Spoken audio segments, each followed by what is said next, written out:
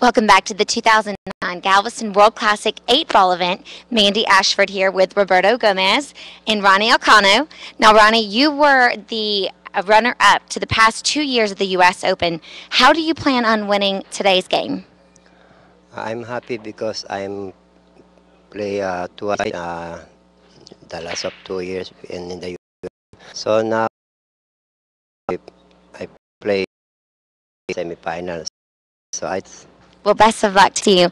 And Roberto, you've also been a runner-up in a world championship. How do you plan on winning your game today? Uh, I cannot sure if I will win as long as I can give my best and focus the the game. So that's it. I can answer your question later after.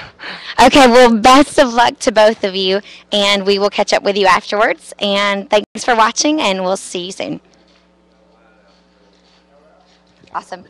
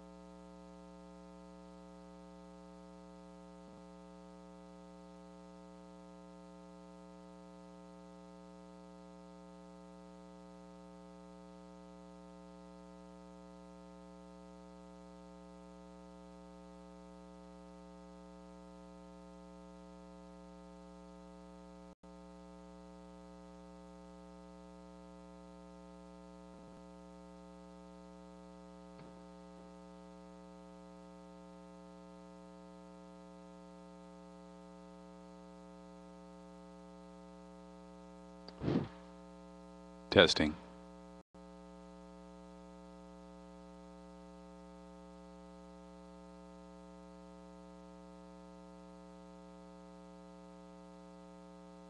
Hello, everyone. This is Joey Augustin, Joey A. from the Internet Pool Forums. We're here at the Moody Gardens in Galveston, Texas. It's the World Classic Pool Tournament. This is the crossroads of pocket billiards. Today we've got a great matchup between two great Filipino players, Ronnie Alcano and Roberto Gomez. Uh, Ronnie Alcano is affectionately known to me as Easy Money. I'll tell that story at a later date. And Roberto Gomez, well, everyone knows that's Superman. And in the booth with me is a really super guy as well. You know him by the name of Charles Hillbilly Bryant. Charles, welcome to the booth. Thank you, Joey. Appreciate it very much, sir. Uh, happy to be doing another match with you, and again, happy to be here at Moody Gardens. And you know, it's a it's an amazing event. It really is. Uh, I'm really looking forward to this match today. Yeah, this is uh, these guys. Uh, this is ten ball. Uh, this is a race to eleven. I didn't get a, a quick look at. It, it's eight ball. oh, beg your pardon. We got an eight ball match. I'm not paying attention here. Daddy said it don't cost nothing. Uh, that's that's another hillbilly truism. Now you, you you know you you signed the contract though, uh, hillbilly. Uh, you know when you step into Joey A's booth, you are required, you know, by the contract to provide some very important inside tips for professional pool player tips. So. Uh, you know, I just want to let our internet audience know that you're going to be giving it up for them. I'll do everything I can, sir. All righty then. I don't think uh, I think they're still warming up. Uh, they got a little bit more uh, to do. I think there's an interview. No, the interview's all done.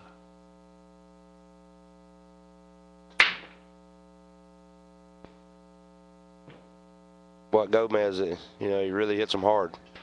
He's got a big break. Uh, you, you notice how high he raises his arm, his elbow, and everything in the back, and uh, he, he's got an unusual. Do you know anybody that gets that high? Uh, Evgeny Stalev. What's that? Stalev from Sta- Russia. Oh, okay, yeah, yeah, uh huh. Uh, I really like Roberto's game. Uh, the only flashy part about his game that you ever see is uh, is the break. He's Mhm. just real smooth and steady. I noticed that uh, Roberto has a, a very outgoing personality, uh, full of exuberance, and uh, just a very friendly fellow.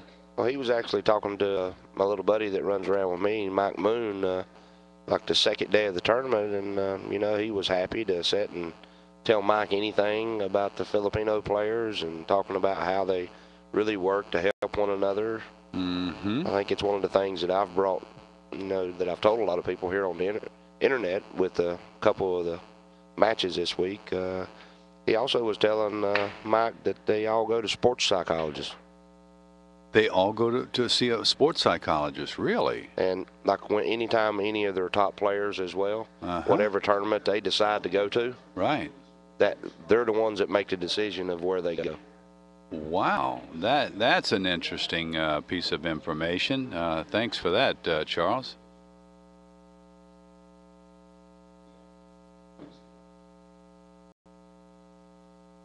You know, I don't know much about Roberto's uh, upbringing and growing, but uh, I mean, he really, he, he's really got a great personality for the sport.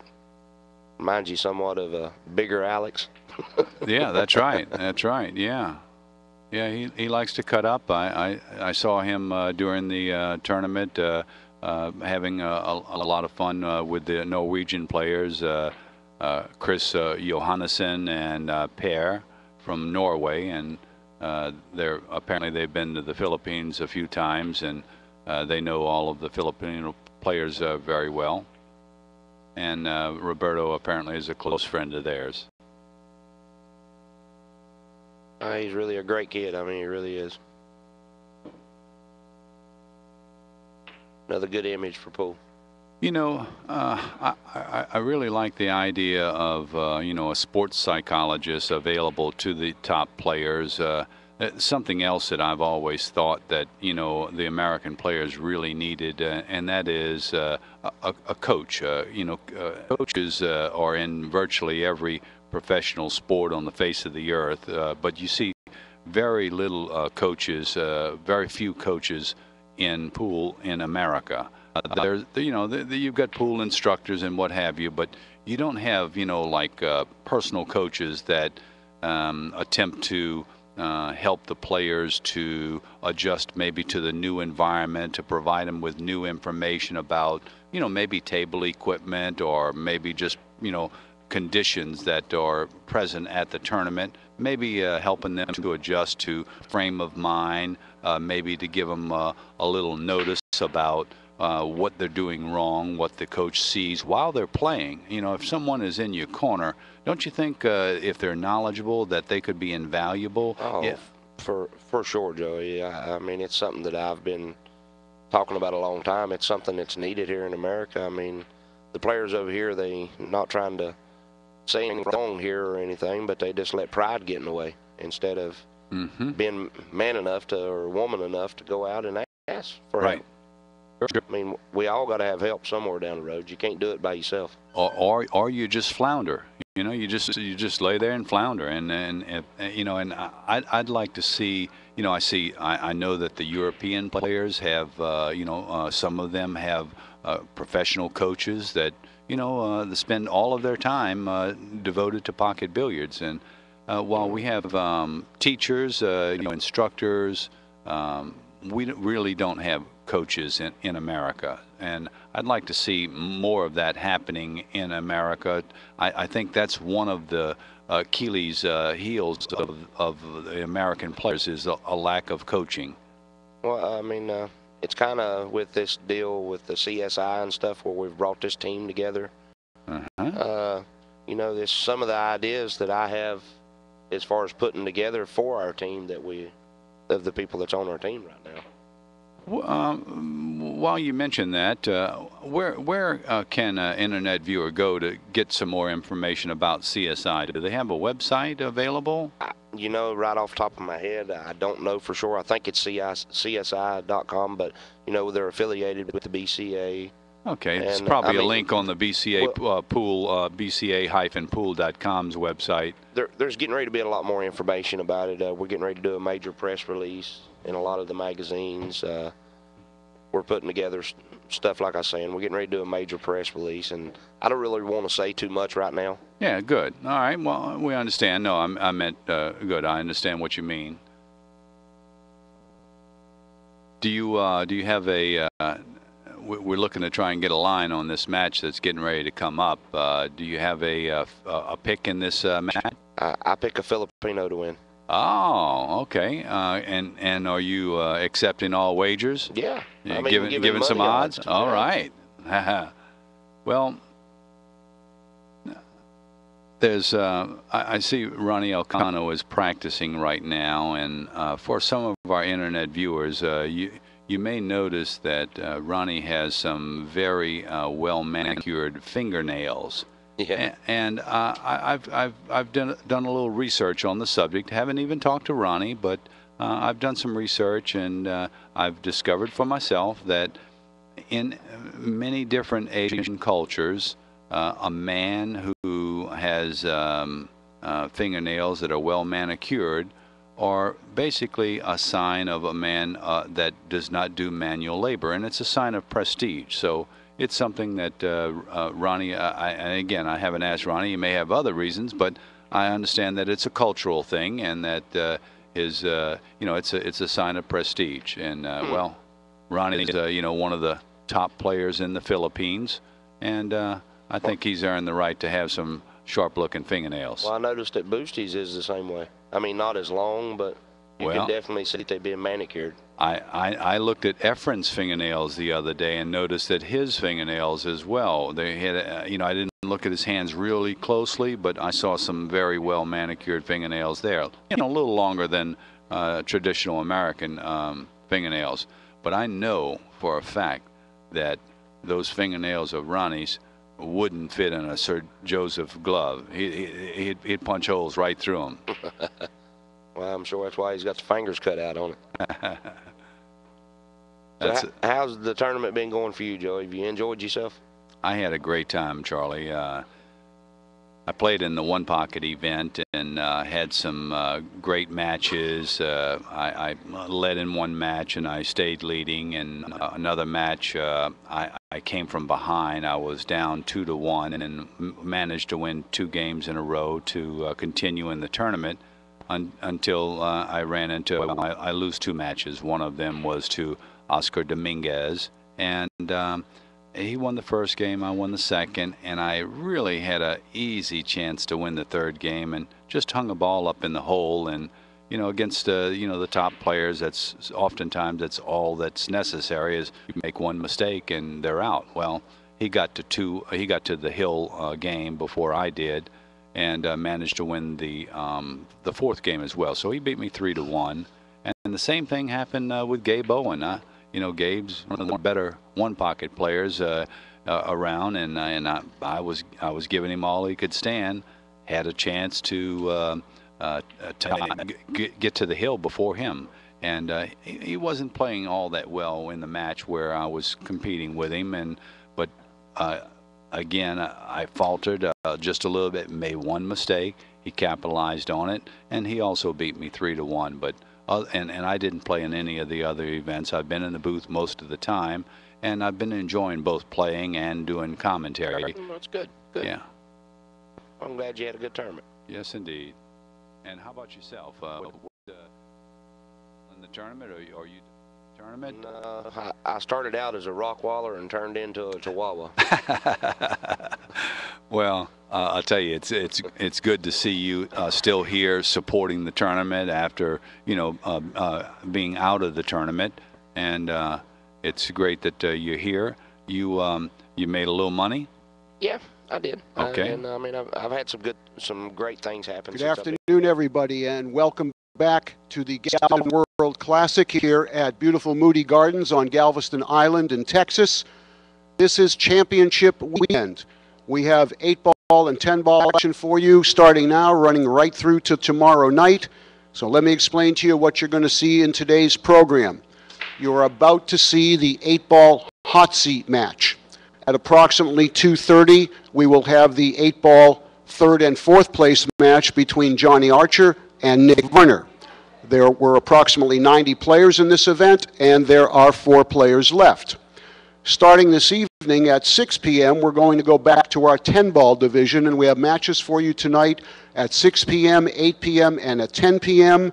And at 10 p.m. tonight, we will have our 10 ball hot seat match for you as well.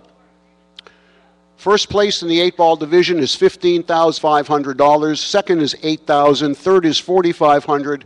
And fourth place is $2,200.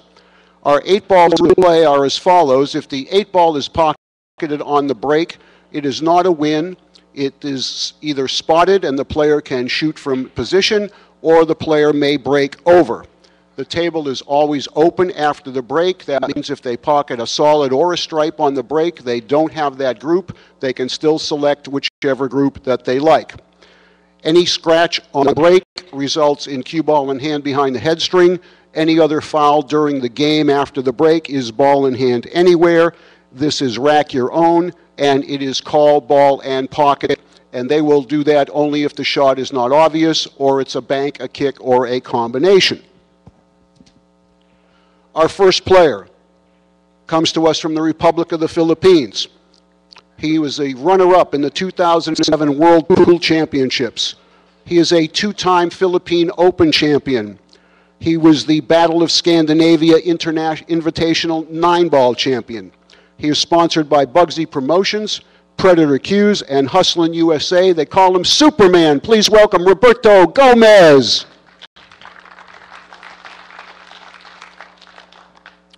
his opponent, also from the Republic of the Philippines.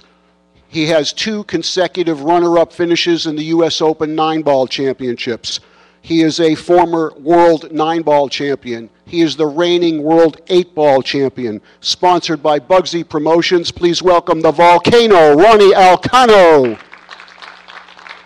Gentlemen, lag for the break, please.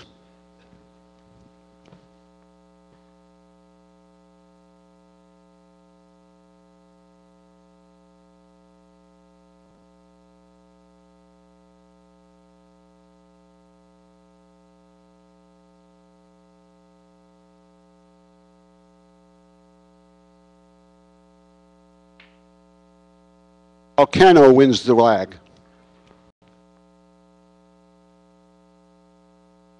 Well, I'm looking for an exciting match here. I mean, a lot of great outs.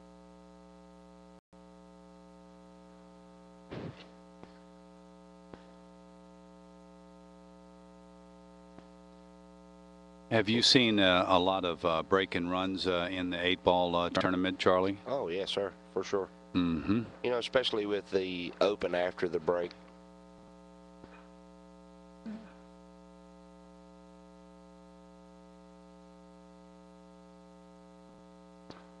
Yeah, I, in uh, in this tournament, uh, if you make the eight ball on the break, uh, the ball can be spotted back up, providing you haven't scratched. Is that correct? And Yes, you sir. continue shooting. Yes, sir. I mean, it's uh, you can't win or lose all break. Mm-hmm. You know, with the winner break format, this makes it really tough with it being open after the break.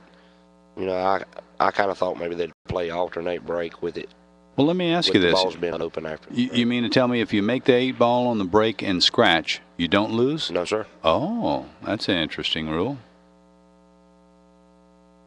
But that's the only time when you make eight uh, and scratch that you don't lose the game. Is that correct, Charlie? Yes, sir. Well, here's uh, Ronnie Alcano with his first big break. Squats the cue ball and makes the two in the corner. Now he's got the option of shooting solids or stripes. Is that correct? Yes, sir. You know, I'm wondering if anybody's broken run the set out here at this tournament yet. Wow, you think that's possible? Yes, sir. Especially with the race to seven in the loser side. Mm-hmm. It would be a pretty awesome feat uh, for somebody to be able to do that. Well, uh, we'd love to catch capture that on film. I actually, uh, one match I broke and run five. In this tournament? Yes, Oh, who was that against? I don't remember. Mm-hmm. I've seen so much pool this week and played so much, and I mean, I ain't had much sleep here either. I've been hanging out with everybody. Well, I'll tell you, uh, the, the the games, the matches uh, start running together. The days start running together right after about five days. You know, pool. Uh, it seems that they start uh, running together, and you you're wondering what match you saw last night. Yeah, that's the truth.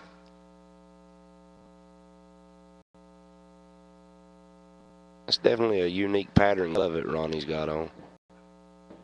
Yeah, I'm not sure if that's a leopard skin or what that is. Uh, I wonder if he's going to draw this ball out.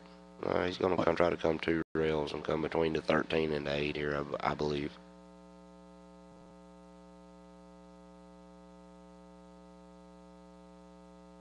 What he was trying to do. ah. I was wondering if maybe he'd try and shoot it in the uh, four corner pocket, uh, but not to be.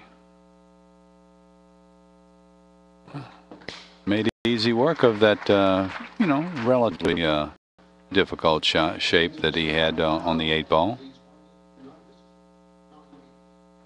Racing oh, this is the winner's side. Hot Mhm. seat. That's right.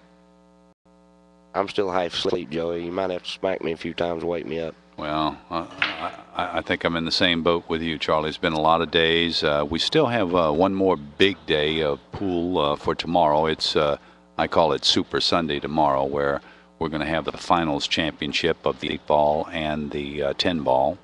So we're looking forward to that. I think there'll be some uh, amateur events uh, are still going on, and there'll probably be some finals of that tomorrow as well. Oh, cool, cool. Super Sunday.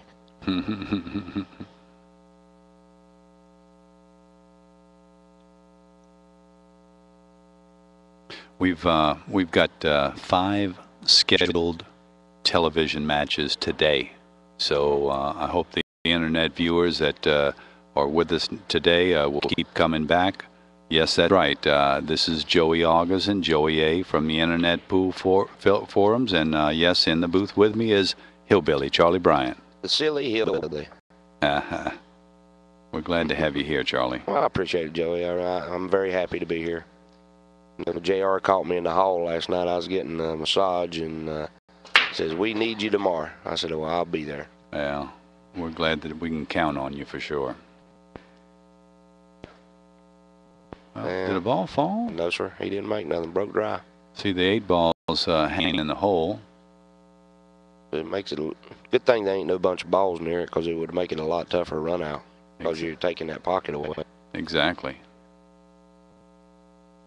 Looked like the only trouble ball might be the 15 or the 7. And he, he may try to run into the seven right here. It's always a good idea right at the beginning of the game to look to your trouble balls and uh, you know separate them and get those uh, out of the way and so that you don't have to worry about them at a later date. Now he's got another trouble ball with the three, but it's not that much trouble because he can make a you know, triple ball combination and still continue shooting. You know, he may choose to uh, try to use the six to shoot that shot. That way he can move the 15 up out of the way of the. Hmm.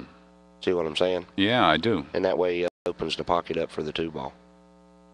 Well, I think he's making a, you know, a a mistake in judgment about not addressing it at the very beginning. He could have gotten himself hooked on that six ball just now. Right. See, that was truly the. See here, he probably just going to rail it in and barely move the 15 up, and he still got the six ball. Right.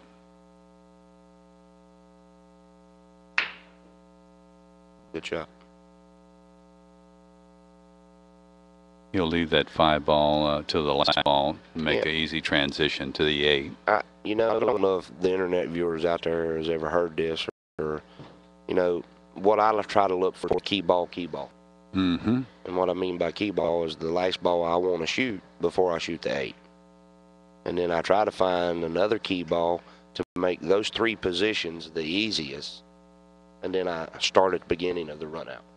Well, uh, Charlie, you're fulfilling your contract with Joey A early on, and I uh, really appreciate it. And I know the internet, internet viewers uh, do too. It doesn't look like we're going to see a uh, shutout in this set. Roberto's at the table and has one more shot to pocket the eight ball.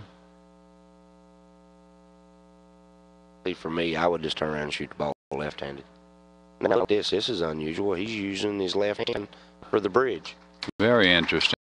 He shoots right-handed and just used his left hand to uh, with the bridge. I- I must have seen him do that earlier, or I saw another player do that as well. Wow, that's unusual there. Huh. hmm I think uh, he was uh, playing some um, some matches in the uh, in the main room earlier in the week, and I, I think I may have seen him do that as well. And someone mentioned that. Yeah. Must must be ambidextrous in in some fashion. Oh, it'd have to be for that to be able to happen. You know, I'd like to thank our sponsors here, Joe. Uh, I'd like to thank Predator Poison Q, which is the official Q's. Simonis Cloth, which is the official cloth of the tournament here in Galveston. Aramith Pool Balls, which is the official pool balls. Ashley the official furniture. And ain't that some pretty furniture that they've had sitting around the arena and stuff? Ashley's giving away 15, I think it's $15,000 worth of furniture. It's beautiful furniture, Yeah. high-end, high-quality leather uh, sofas and other furnishings. It's just, uh, you know, it, very, very nice uh, furniture. Well, it's very nice of them to step in and help like this. And then, then Hertz Rental Car, uh, the official rental car for this event here, like donated 10 vans for the shuttles to run back and forth between the hotels and the airports. That was really nice. Uh, inside pool, Radio One, and the Billiard Factory, the official supplies. That's right, and and we've got uh, ProPool.com providing us uh, with some stats. Uh, the stat guys are Ron Hoffman and Bob McFerrin and Mike Moon. Mini me, Mhm. my little buddy. He's been a little puny, though. He's staying at my house, and uh, he hadn't been able to come out but like one night in the last four days. Uh, Oh goodness! He, he caught a touch of that flu. It was at my house.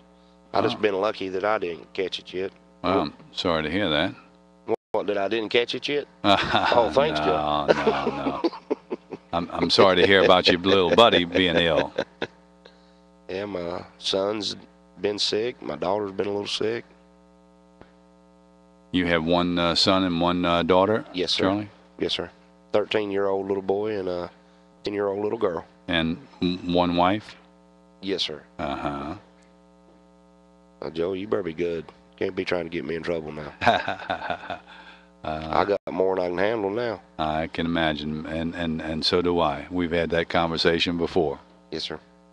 Oh, I got me a great woman. I love her with all my heart. Well, back to the match here. I mean, the only problem I see is, I mean, he's going to have to do something to break that eight ball out. Well, we can't tell for sure from here, but it looks like uh, the uh, one ball passes uh, the 8 and the 15. I'm wondering if he's just going to draw back and then shoot the five. Mm. See, going from the three to the seven to the five is going to be a little tough to be able to get back up table. He's got to get dead perfect on this shot. What about uh, using the uh, 10 ball as a ramrod and shooting the uh, 7 ball in the side pocket and running the 10 two rails into the 15 8? You know, he ain't going to be able to get to 10 two rails. It would have to be straight up table. You know, because if you look at your tangent line off the ball, anytime, like we're here, if he Right, that ball, right, he- right. He, may not even be able to get to it. The 10 may come in front of the 15. Mm-hmm. Now, he's got a decent angle here. He may be able to power it into. But, you know, I really don't like this shot. I mean, he's taking a big risk here. Yeah. Now he's got uh, the 6 balls. I didn't like that shot. Yeah. I, th- I think he should have went down and tried to shoot the 6-1. Or get the angle on the 1 to come into the 1 with inside English and break the 8 out. Yeah. And he could have moved the 15 out of the way.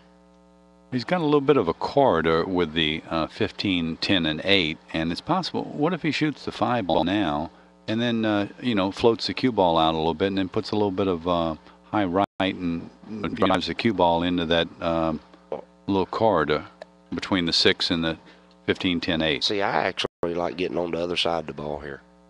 You know, where, oh, where you yeah. just float yeah, straight pa- in past there. the 14 where he's pointing now. Yes. Yeah. That's the way I like coming in Well, here. I can see that, sure. And the only bad thing that could happen is when you go in there is run into the. Or get straight in. He's trouble Uh, here. He's in trouble here. Yeah, he's big trouble.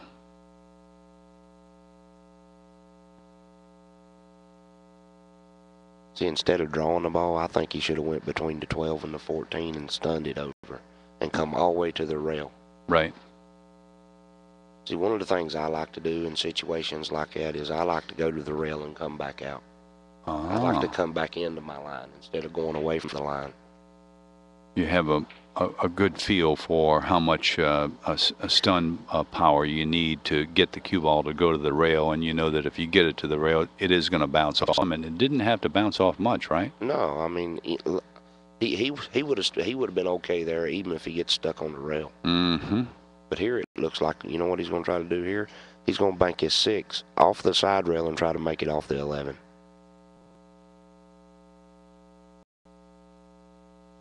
Well, looks like he's hit it kind of high, but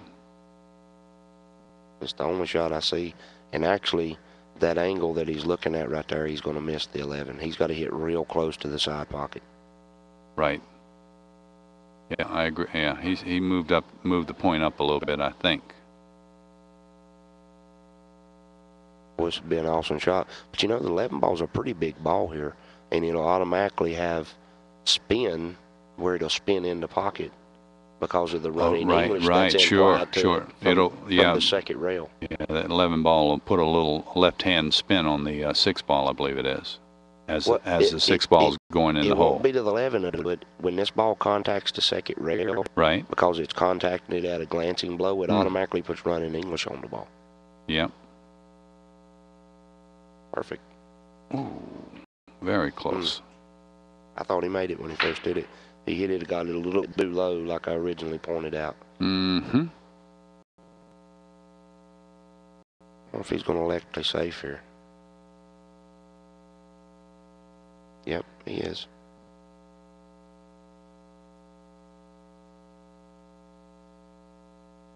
You know, this is dangerous. I mean, if he kicks this ball in, he'll be able to kick that eight in too, because it's in the big ball position with the sideboards there. Talking about sideboard being in the 10 ball. Yes, sir.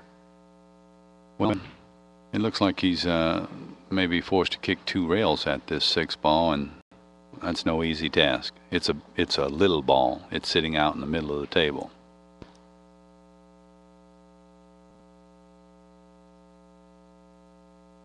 I'm amazed.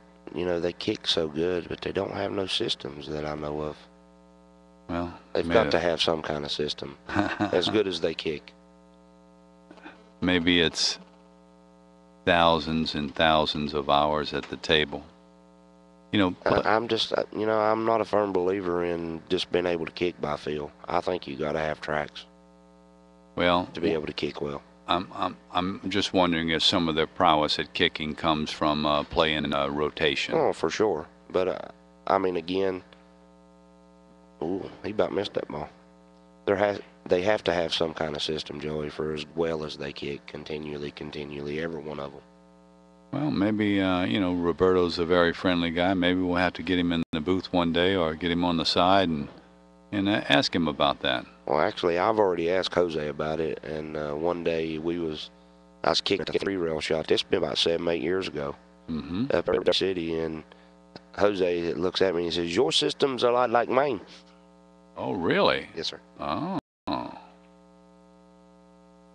Well, maybe um, are we going to have a chance to see any of those systems that uh, you've uh, developed? Uh, for sure, sir. I mean, it's just.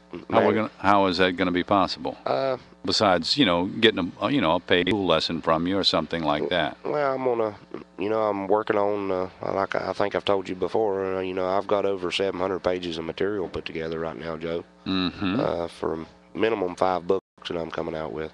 oh, this will be different books. Yes, sir. Oh, each one of them is going to address a. Uh, they're all instructional books, or Yes, they sir. uh, pool story books. Uh, not one of them stories yet. Wow. Yes, sir. Okay, so we'll five instructional books. Yes, sir.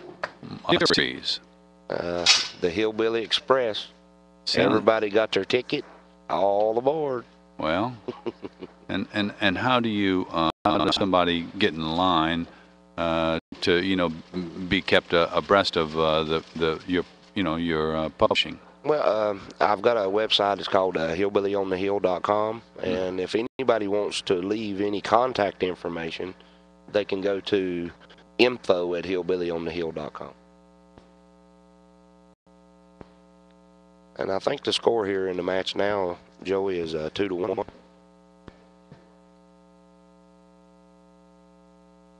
And that's in uh, favor of Raniano, right? Yes, sir.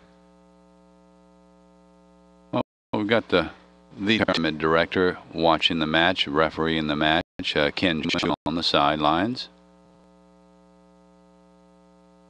Oh, Ronnie changing because he come up dry on that one break. Mm-hmm.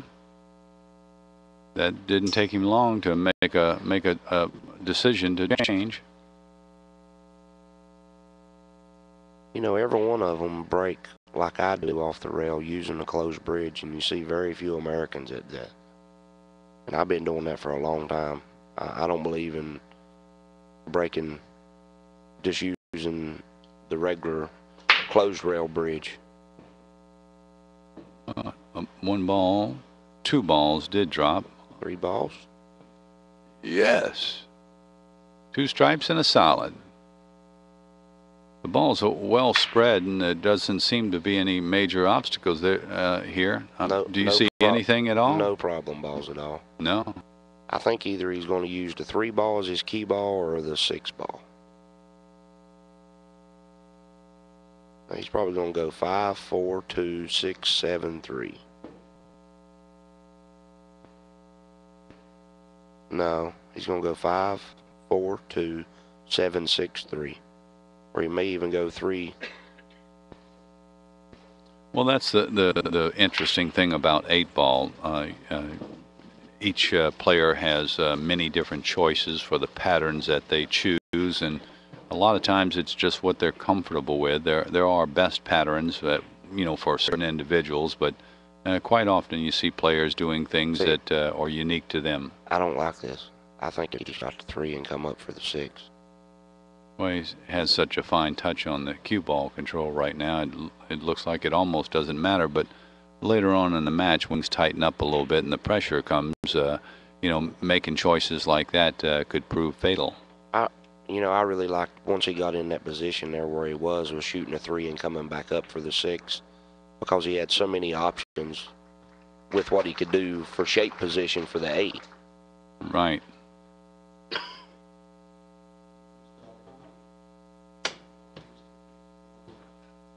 One thing about it, Ronnie, don't let no grass grow under his feet. No, he's moving along quickly.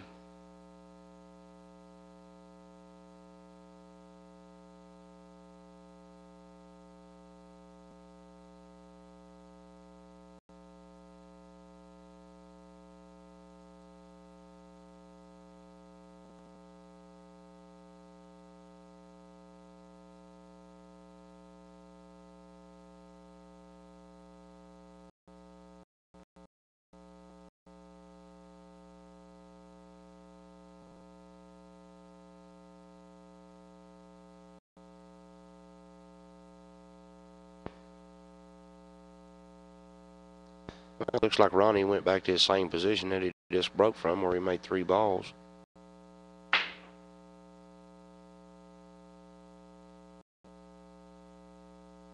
And Ronnie Alcano leads the match three to one now.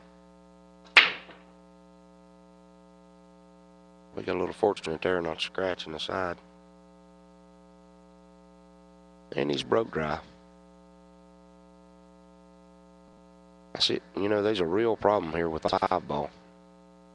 You know, and I don't see that uh, Roberto can make any of the stripes very easily. I mean, there's no shot that he can really make easily. Yeah. So he's going to have to take. Wow, it's if he works this out, he's going to make a heck of an out to be able to get out here. Five balls, nothing but trouble. That's the only shot I see that could actually work would be able to bank the five on the side. But he don't want to do that. You know, he wants to. He'd love to be able to take one of the stripe balls here. Now, a shot that I see here that he may could do is shoot the nine off of the eight and the side. But you know that's risky too. Yeah, I he's think he's kind of going to try stuck to on draw. the rail. He's going to try to draw the f- and move to 13. Whoa, look, Wow. right in between the five and the That's a little unfortunate right there. Yeah, And to be able to go through all four of those balls. I, I, I- that's Wow. something that I think I'd, I'd have to call a bad roll. I mean, he, he, I mean, he hit that with good side spin right in between them, and it still didn't uh, hit either one of those balls. Yeah, he's pretty unhappy with that shot. Yeah, No, I really don't see much other way to get in here. Only shot that I see that he may be able to get into that five is getting a right angle on the one. Well, if he if he would have drawn the cue ball back uh, to make that, if that seven goes in the side and he can shoot the, the one, then uh, perhaps drive the uh, shoot the two in the side. He can float the cue ball up to you know to to get in behind the five or maybe bump the five, knock it out so that uh, he's able to shoot it in the other corner pocket. You know, he may have to play position just for a bank shot here, Joe. And the eight's also a problem ball. Sure, sure. In, fa- in fact, the eight's a very big problem. It may go in that pocket that's uh, the four balls nearest, but that's about the only place that it looks like it goes.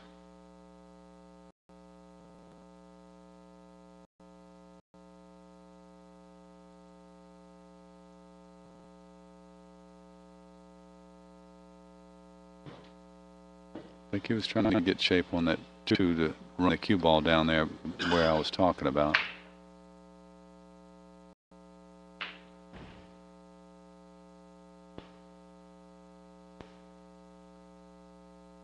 Roberto has a very difficult layout here to complete the run out.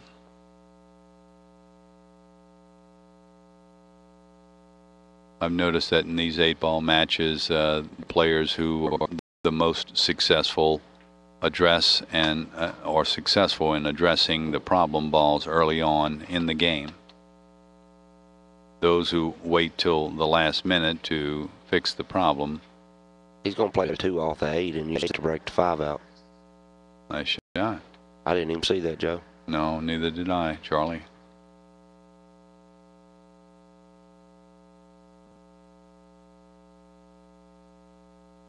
Gotta hit it pretty hard to get it to, yeah, you gotta hit it pretty hard. It's a great shot. Does he just draw the cue ball back to the foot rail down here by this first diamond uh, nearest uh, the Yeah. side pocket where he's standing and just take the long shot on the four? Yeah, he may not even draw it to the rail. Wow, good shot. He's got to be careful here. He's just going to have to float this ball. I don't think he's going to try to do anything crazy. Right.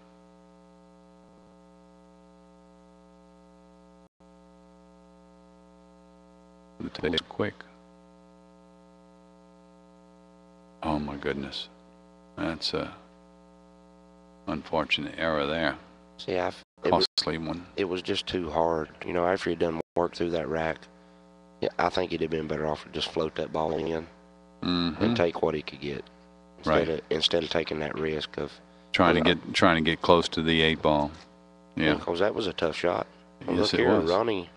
Ronnie's put himself in a pretty crazy position here. I don't even know if he can reach the 11 to be able to shoot the nine. Uh, or jump cues allowed in this uh, in in the eight ball? Yeah. Okay. Well, you know, just pushing out to to the 12 ball is uh, not a move. No. Four ball lays too close to the hole, and I'm sure we would see Roberto whip out the a jump cue to jump over the 11 ball. It, it depends on how much angle that he gives him here, you know. Oh, but if he gets on the rail, that'll make it really difficult.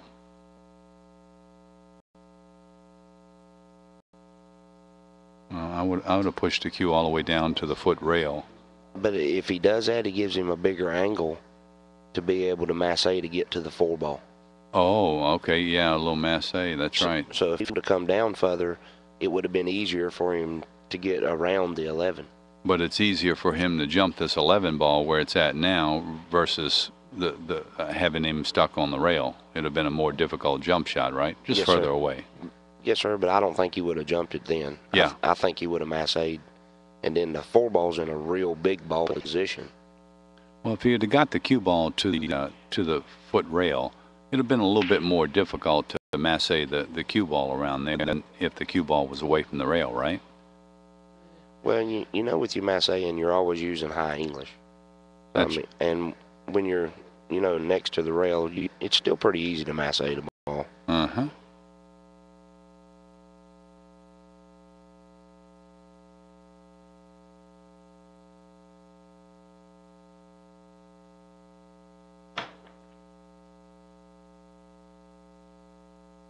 Well, You got a little fortunate right there. I mean, I don't. If, from looking at the table here, uh, 14 shots a little bit tough. So he's probably just going to try to float to 15 in. Even if he does miss it, then it then it's still safe. Oh, he's just elected to play safe. whoa, Left him an edge. yeah. I don't know if he can masse curve this uh, and make this four ball or not. He's definitely got to take a shot at it. I don't think the jump cue is the way to do it, though. No. Either he can do that or he can try to cut the four over there in front of the 14 and at least block the hole. That's a pretty serious back there, Charlie. Yes, sir, it is. I mean, but that, you know, he's only got one of two options.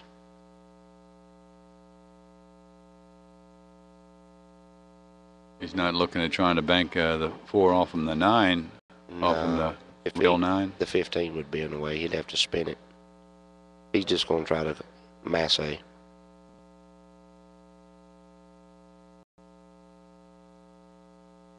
only shot that he has.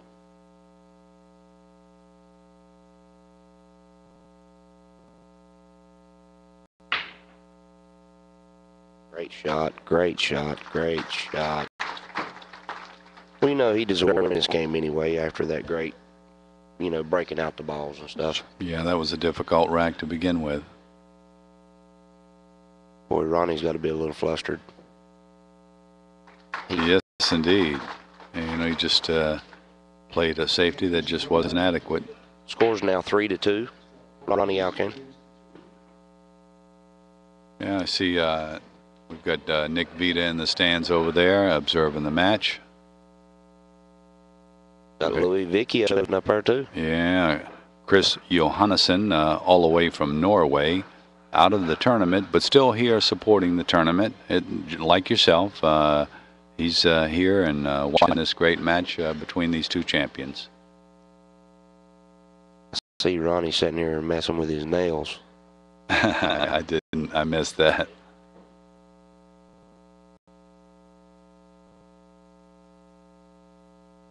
Got a few people from New Orleans in the stands uh, supporting the tournament. Uh, they didn't play in it, but they decided that they wanted to come out and support the tournament. Being uh, victims of Hurricane Katrina, uh, I think they have a little empathy for the people in Galveston, Texas, with uh, Hurricane Ike, and well, they've come over to spend a few dollars. Well, that's sure nice of them. You know, uh, we, all of us, you know, I don't live like 25 minutes from here, and we got pretty fortunate. I cut down five trees right before the hurricane come in, and just by the grace of God, uh, something told me to cut those trees down about eight or nine months before that hurricane hit. And if I hadn't, my neighbors beside of me and behind me would have those trees would have been through their house. And My goodness. I got real lucky. I did a bunch of trimming and stuff, and uh, I only got one little old hole in the roof. Oh, my goodness. That's wonderful. Wow, it's pretty amazing here how all the solid balls are out, Yeah. and you got five stripe balls right there right next to each other. Which I mean, you got two breakout balls would have would have been okay, but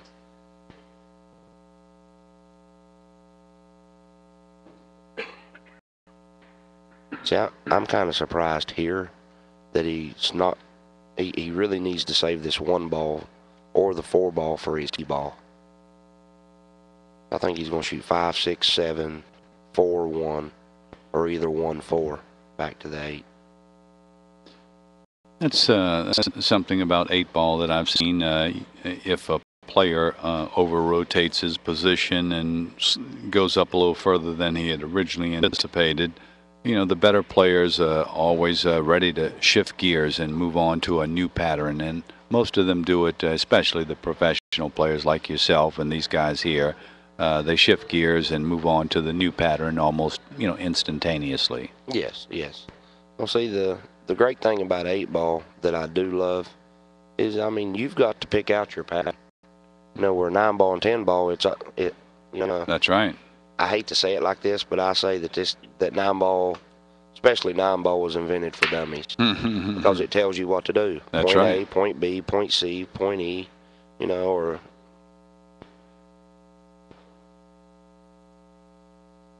see, I see. I figured here he'd go ahead and shoot the four ball and just draw the cue ball two rail out of the opposite corner pocket.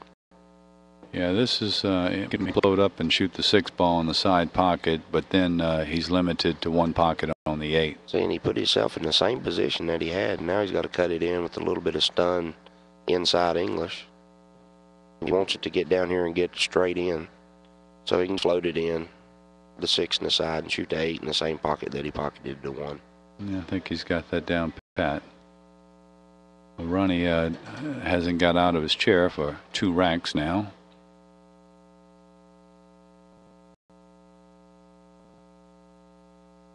My boy in bad position on the rack that Gomez didn't get out. May come back to haunt Ronnie. Mm-hmm. Yeah, you're right. Scores now tied up. Catch up, caught up. Tree, tree. Race into nine. Nine. Yes, it's the winner side.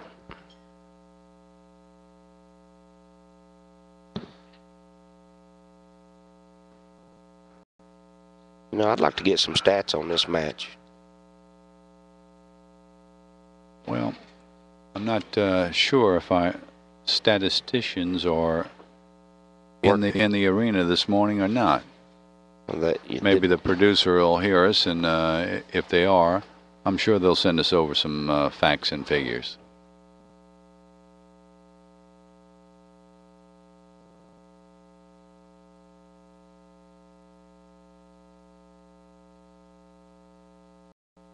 Gomez had the speed break over there on the little speed break thing that we was doing. Really? He Yeah. did have. He did? Uh, can you tell me who bested him? Uh, who you think? Well, uh, I- Charlie, I just, for the He- life of me, I can't think of anybody that could break hard and fast. Oh, He was had, it Bustamante? He had a uh, 31.78. I hit a 32.38. Yay, yay. How about Bustamante? Uh, I don't think Boosty's been over. Yeah. He's uh, he's got a pretty quick uh, break himself. Yeah, I don't think he can get up there with me and Roberto. What's the, what, what's the prize uh, for that now? Well, you know, I went over and just done it for free. Uh, you know, like these guys back here with Ashley Furniture, you know, they're taking uh, like the top 10 each day of whoever makes the most balls, and then they going to look a winner at the end of the tournament. That first place gets $10,000. Wow. And they was begging me to do it too, and I told them, I said, guys, I said I don't mind coming over here and doing it, Mm-hmm. but I'm not going to take nothing that other people could use. Oh, that's that's very nice of you, Charlie. I mean, when it comes to the speed break over there, I, I know that I got a good shot as anybody. Absolutely. And I just don't want to go over and take something from the amateurs or whatever, yeah. or whoever. I mean, that's just me, bud. Right.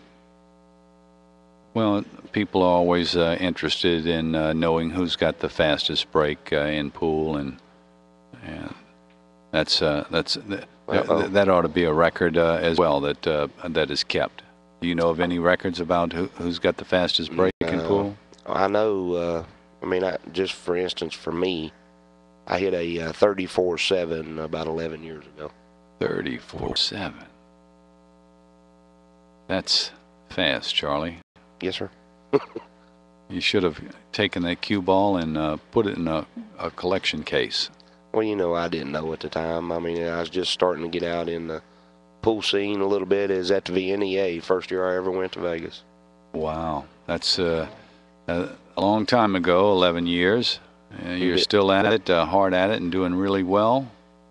Well, he's got a, he's got a little tough shot here. This is a tester, but he's got sideboards. Well, oh my goodness. I guess Roberto broke dry that. Yep. Yeah, there's seven seven stripes uh, solids on the table. Yep. See here, I mean, he definitely needs to see one for his key ball. Well, he, he may not be able to. Uh, I, I, Well, right wha- now, what's he- what's going to be his next ball if he uh, I think he's he's jacked out? I think he's going to shoot inside English, or either he's going to shoot straight top and come back across table and shoot to five. But he may have to use the one. He's probably, yep. See, one, here's a shot that I see. Once he gets under that seven four, he could shoot the seven or the four, preferably the seven, off the eleven and shoot it real firm and open up both end pockets for himself. Hmm. That's a nice shot, Charlie. I don't think he's uh, seen that one. Uh, he's, you know, I, I'm kind of surprised he didn't go ahead and go ahead and take one in that situation. Is he looking at trying to play a safety here? I don't think that'd be good of an idea with uh, someone that can kick like Ronnie Alcano. He's probably gonna have to, unless he wants to try to feather this in and turn the cue ball loose. Yep, that's what he's looking at. Mm-mm-mm-mm. Better be looking at that 9-11 kick. Yeah, 'cause the 11's a big ball. Uh, he, he could also uh, jump the balls, and that, that 10-11 combo doesn't look too pretty, though. And trying to make the 10 past the 11, you know, jumping over the 6 and the 14. It ain't gonna do him no good to make the one here. I mean, unless he draws the ball back. This is a tough shot because he's so close to the rail. I guess he's gonna fire this ball and come around the table. He's probably gonna run into the eight. No, he had a little straighter angle than I thought. See, he still didn't get low enough. And, you know, he's going to shoot the five and go up table again. Unless he elects to shoot the three six. Or, I mean, the six combo. Now, what about shooting the 5 into that 11 right now? That's a good shot. You know, rail first, of course. Yes. He would actually like to leave it, though. So that he could shoot it with the seven and he could shoot it with some power.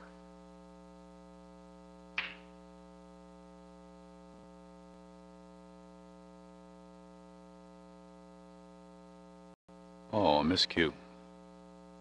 He was trying to do too much with the ball there. well, he's blocked a pocket for the 8 ball. See, I think he should have just went up table and come back down.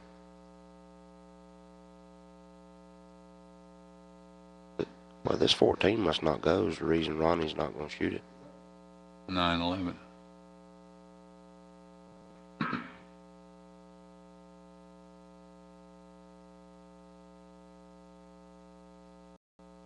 No problem. Problem with the uh, 14 ball there. Does it go? You know, I've heard quite a few different people that's played on this table here say that this table's tighter than over there in their other arena.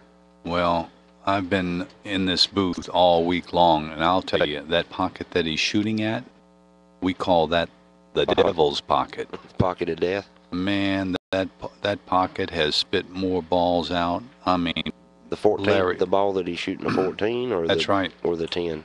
No, 14, where the 14 went. Well, that's the pocket that Earl missed that ball in last night, wasn't it? Or, or well, the and and the pocket was wide open. I mean, there. I don't know what happened uh, with Earl on that moment. He made a great break. He, He ran just- all the balls, got to the 10, and then just got down on the shot. And you I know, know, I know what happened. tell he me, shot Charlie. it way too fast. That's- Just took it for granted after getting back in the set where he thought he wasn't going to be in the set, right. and he was ready to exhale.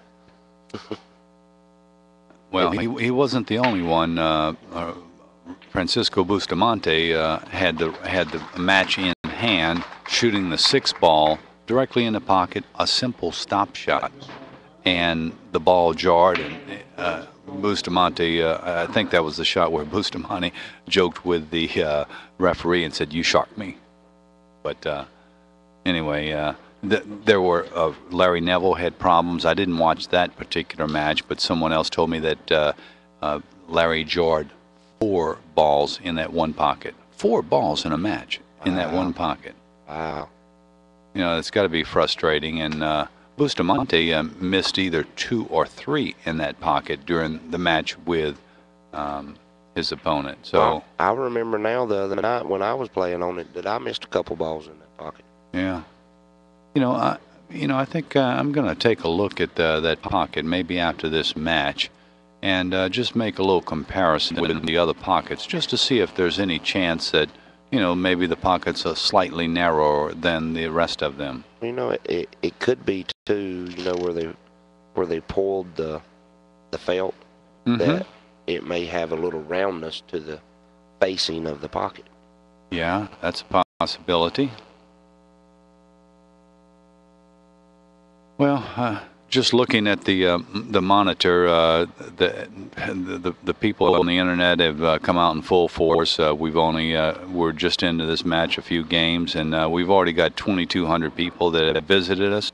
We're glad that they did, and we hope that you'll be staying with us the entire day. We've got four additional big matches lined up this afternoon and tonight. And I'll be in and out the booth from time to time, and there'll be other commentators to help out.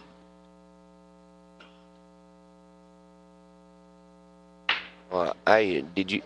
I hope you didn't forget about part of the contract. Uh, you got to buy me lunch. Oh, Charlie, anytime. That's uh, that's my pleasure. And, and and and you know, I'm from Louisiana, Charlie, so I enjoy eating. no. Well, you, in case you can't tell, I got. I broke my overhauls today because I planned on getting a good meal out of you. We're gonna have to put you in a buffet or something. Uh, you know, I don't know if I can afford the a la carte stuff. What do you think about my overhauls today, Joe? Uh, it, it's it's fitting of, of your nickname, uh, Charlie Bryant. Uh, that being hillbilly. You got the hat, you got the earring, you got the sunglasses, you got the persona. You've you've made uh, you've created a really unique character, and uh, all of your fans uh, they love you. We enjoy your company and your your expertise uh, in pool.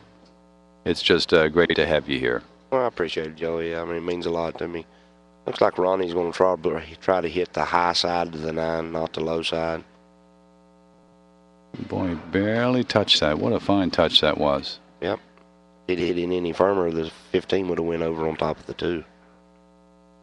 And I really thought he was going to hit it a little firmer there. He, that he kind of surprised me there. You know, I was just thinking just now uh, about the. I'm gonna have to watch uh, Ronnie's uh, uh, grip on the uh, butt of the cue. He gripped it with the front two fingers and the thumb. I wonder if those That's- fingernails are, are digging into uh, uh, the palm of his hand. You know, to keep the pressure, keep him from uh, putting in too much pressure on his palms. That's interesting. I know that he lays the back two fingers of his hand and just lays them almost straight down, Uh huh. kind of like he was relaxing them. Well, I, you know, you see uh, all uh, different. Uh, you see different players with different grips. Uh, Buddy Hall, he's got his whole hand wrapped around the cue, and you know, I, doubt I doubt that he, he's ever gripped a, a cue uh, with any type of uh, power in his life. But um, Well, I really like the two middle finger grip. yeah, Or making the middle finger the pivot point of the back and forward mm, so that it's easier. I mean, for me, anytime I try to use the front grip, front part of the grip, I feel like I have pressure on the front part of my forearm. hmm, that's interesting. Seems like it seems like by me using the middle two fingers or the middle finger, it just if there ever is any pressure, it's always in the middle of my arm. Well, uh, we've got a local uh, Philippine uh, player in New Orleans, uh, Bobby H, and uh, he, he utilizes the two middle fingers as well. Yeah, I, I mean, for me, it's what I really like. I've tried all different grips because I've had a lot of questions asked about it. Mm-hmm. And I mean, really, it doesn't matter. I mean, I'm not such a stickler about the grip, but I prefer the two middle finger grip. Yeah, makes sense. Personal preference. Works for you. Well, it's kind of like different tips and stuff. You know, for me, I like a real firm tip. The Filipinos like a real soft tip. Yeah.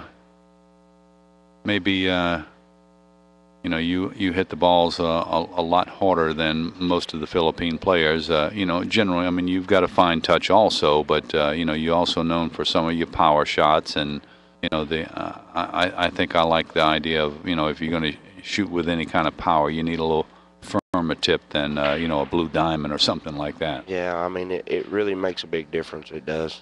I know that uh, um, some of the Philippine players uh, use elk masters that have been compressed, you know, similar to the milk dud type uh, tips that, you know, so, some of the uh, supply houses provide. Actually, what they do, from what I understand, they soak them in the milk. Uh, that that some of some of the um, some of the uh, developers of the uh, compressed tips uh, do do that. That's correct. What kind of uh, score do we have on this uh, match right now? It's uh, 5 4 or 4 4.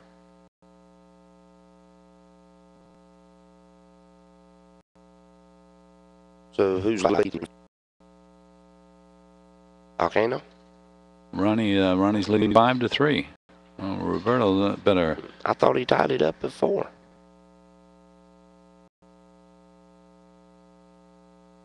Well, maybe they didn't click uh, click on the electronic clicker. It's our fault for not paying attention. Remember what Daddy said, don't you, Joe? What's what did Daddy say? Don't cost nothing to pay attention. well, Roberto's got uh, problems down here with the 12, 15, 13. Kind of surprised he's taking these balls. I mean, the only reason that I would see is because of the six ball. If he gets the right angle on the 10, he'll be okay.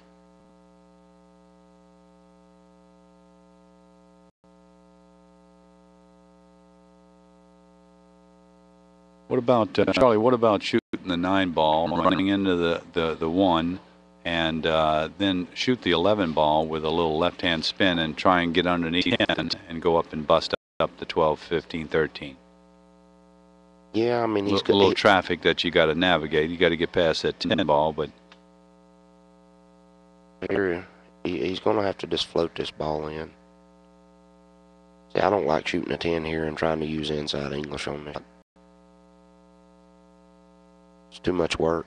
I mean, it's too hard to predict the deflection here. I'm not sure if he can run into the uh, one ball if he does shoot the nine right now. Yeah, the angle kind of looks like it's going to float by the one. I mean, he, if he does hit it, he's just barely going to graze it. He doesn't. Uh, he just has to maintain shape on the uh, on the 11 ball. Pocket speed. Uh, he did run into Missed it. Oh my goodness. Well, it looks like that's what he was getting ready to do is to play the three rail shape or the two two rail shape into the side rail, foot rail, and into the stack of 12, 15, 13. One thing about these diamonds, Joey, they are unforgiving. You only get what you make. Yeah, you earn every ball. There's no doubt about that. And that was uh, something just now where he just floated the cue ball in. I, I thought some of these shots had been missed because the player had not adjusted for the amount of deflection. You know, with the dryer table, the lights uh, shining on the um, on the cloth, uh, it allows uh, you know less. Uh, there's less friction av- available for the cue ball, and so you know you put a little uh, side spin on the on the on the cue ball, and know, all of a sudden you're missing shots. Wow, did he just miss it? up? He just he, he must have just took his eye off of it. He was worried about the six ball. Well, he dislodged one of those uh, balls that was giving uh, Roberto trouble. See, Roberto's going to shoot this ball with a little bottom left and just come into the 15. Can he can he actually uh, get to that uh, 15 with low left? Yeah, yeah. As long as he don't snap it too hard. Going to have to you remember lower day- lower speed.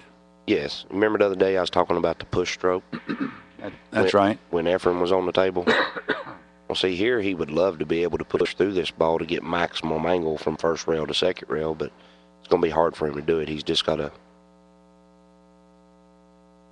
Now, here, you know, I- I'd probably just shoot the 12 into the 9 because of the big ball. Yeah, and, and certainly the 12 would uh, re- either remain by the pocket or fall. Okay. Can he uh, Well, make he's the got room 13? to make the 13. Apparently so. Off left hand spin. Make sure that he makes it. Now he's got to be a little careful here. I think I'd shoot the 9 and then the 15, then the 11. Well, no, Uh, no. Easy transition would be the 15, you know, 10, 8 as the last three balls, you Yes, know, sir. a key key ball as you had mentioned. But here he's probably going, he's just going to try to get up for that 11 ball right now, I believe. Oh, wow, he went a little further than he wanted to. He wanted to hit that five ball solid. Yeah, this uh, uh, he's just created a, a, another obstacle for himself to overcome. Yeah, I mean, this is a little bit of a tricky position from the 9 to the 11. He may have to go ahead and try to spin the 11 in. I don't know. Uh, I, it's kind of hard for me to tell the angle. I know it's a steep angle, but I don't know if it's unmakeable. Here he's just going to use the rail and he's going to come up towards the 7. Wow, I didn't think he would come around it like that. I thought he would just come over there near the 7 and shoot the 11 down here in the same pocket that he's going to wind up shooting the 8 in. He made a fine shot. Yes, he did. Made a great shot. He just don't want to get stuck on the rail here. It looks like the score's going to be five to four. That's right, five four.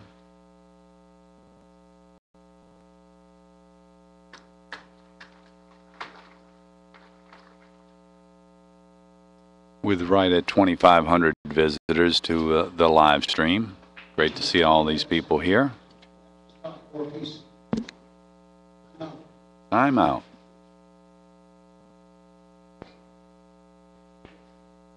Sorry, guys, we was wrong. It's four piece.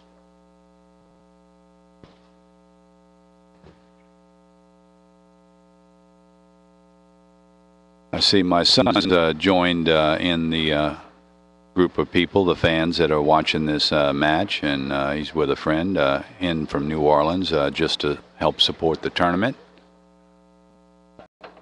He's come in for a couple of days. Uh, he wasn't able to take off from work, but he managed to spend his weekend down here in Galveston to spend a few dollars to help out the local economy. We sure appreciate any help right now, y'all. It's also good to see family uh, when you've been away from the, the house for several days, uh, which I have. And we uh, visited uh, the uh, Galveston Historical Museum this morning. We did a little research on my family. Uh, my family's originally from the Galveston area. Uh, my ancestors immigrated from Dubrovnik, Yugoslavia, in the late 1800s, and they were here in the in the in the, in the uh, 1900 when the Great Hurricane of 1900, uh, uh, you know, took so many lives, eight to ten thousand people, and uh, this is uh, the museum is real nice. They we went to a theater that uh, illustrated some of the historical facts and told the, the tragedy, and it was just great being with him and being able to share that past history with him.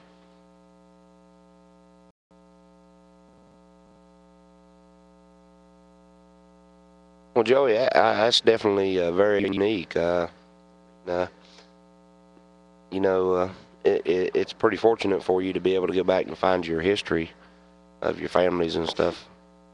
Yeah, that's uh, it, our, our our family's a very uh, small family. We don't have that many family members, uh, and you know, all of them uh, lost their lives except for my grandfather, who was 14 years old uh, at the time of the hurricane, and he survived by holding on to a tree. And uh, I've mentioned this story on a couple of the other live streams, and you know, if it uh, if the story's getting a little old for some of uh, you uh, listeners, I apologize. Uh, but uh, you know, we had a little visit there at the historical museum, and I thought it was appropriate to bring it up while taking a little break here.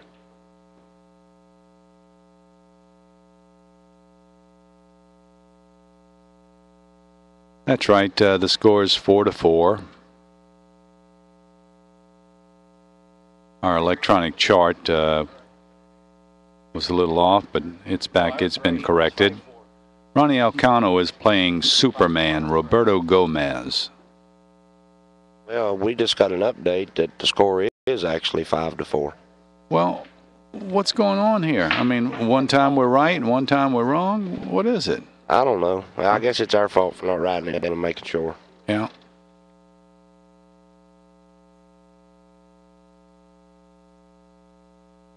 Four? Is it five four or four four?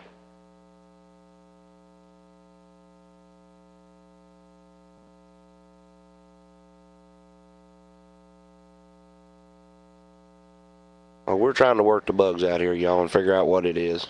We think it's five to four Alcano. Uh, he's playing Roberto Gomez from uh, the Philippines as well. Uh, you know, up and coming star. Uh, he's really going to turn into something for sure. He's already a great player.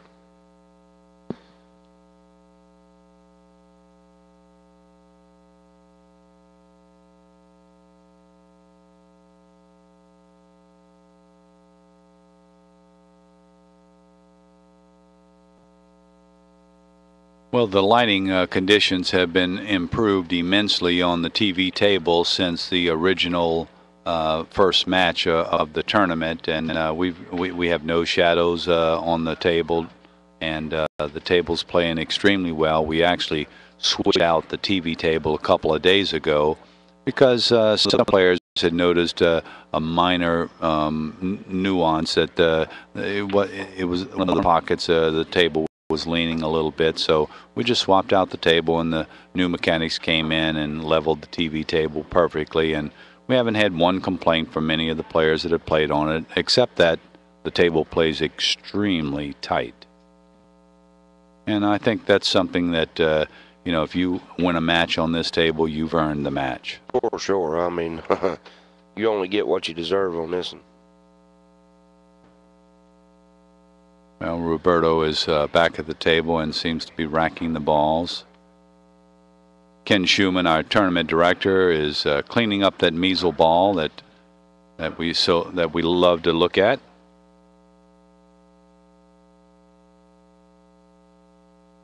And uh, I don't think I've spoken to one player who uh, has said that they do not like the measle ball. That's pretty interesting. Uh, I, I love the ball. I truly do. I mean, I was kind of surprised that we don't have them on all the tables. Yeah. Well, maybe uh, as uh, you know the popularity of the measle ball continues to increase, uh, we'll be seeing more and more tournament uh, promoters uh, utilizing the the measle ball.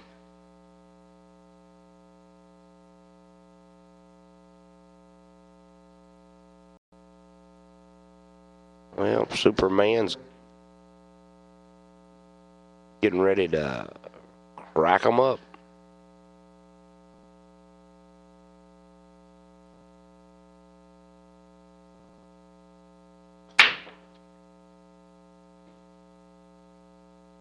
Boom goes the dynamite.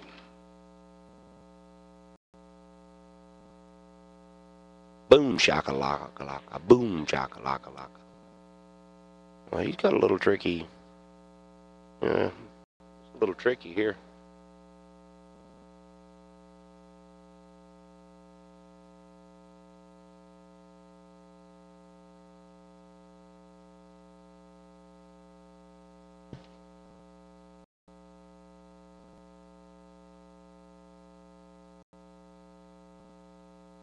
No, I think Roberto here is going to take the, uh, probably take the strike balls.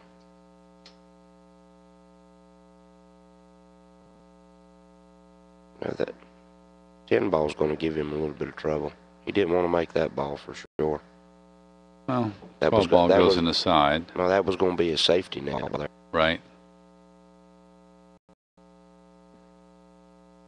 Yeah, he's got some, uh, he's got a little problem here. He definitely didn't want to make that ball too.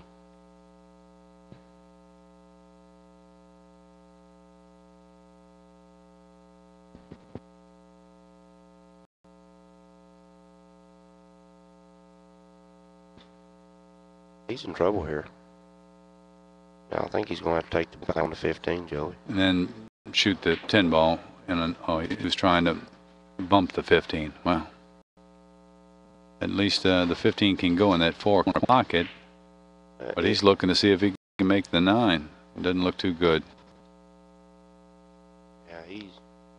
Maybe. Uh, I'm kind of surprised he just didn't take the bank because it was a pretty easy bank. Yeah, it was. Yeah, it was pretty just- reasonable. just stop the ball.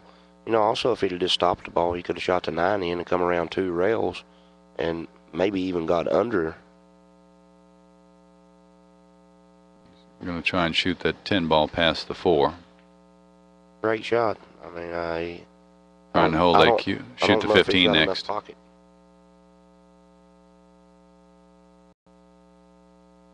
No, uh, he may leave a tough shot here too. He's flustered at himself here.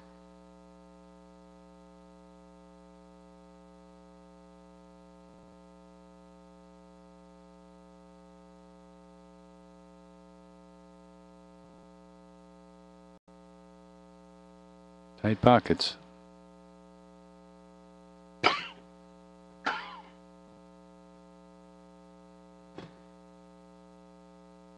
He left it pretty tough though.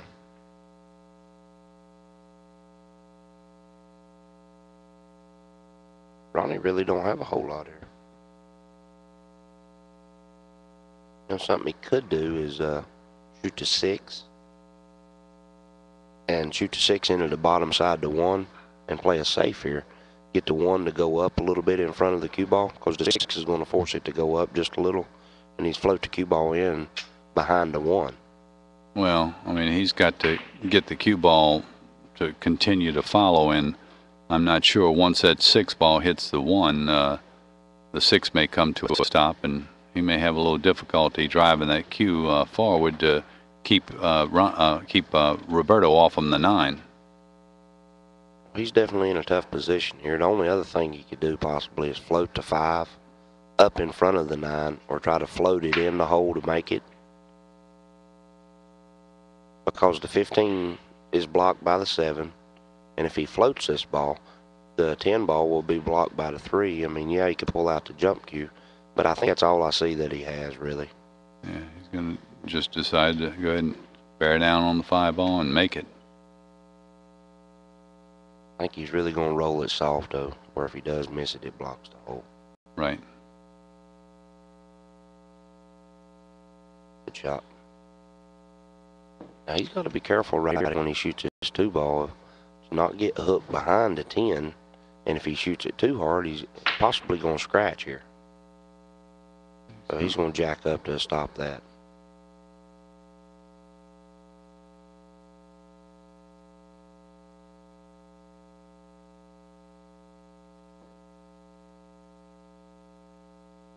Well, he, he still can't get to that seven ball on a couple of shots. I know he wishes uh, he was shooting at the seven and moving that one six around a little bit, at least to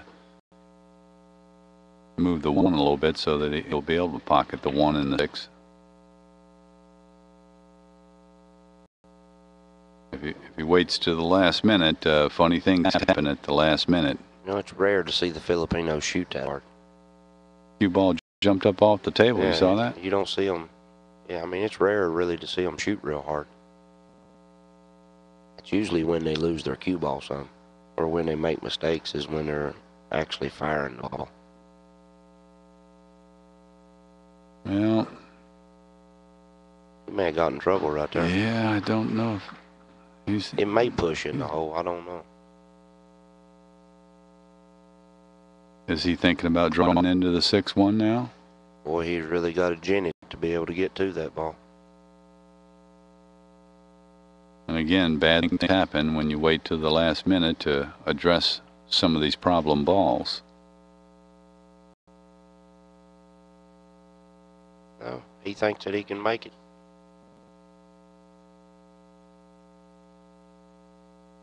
He thought he missed that ball. Did you see his reaction a little mm -hmm. bit?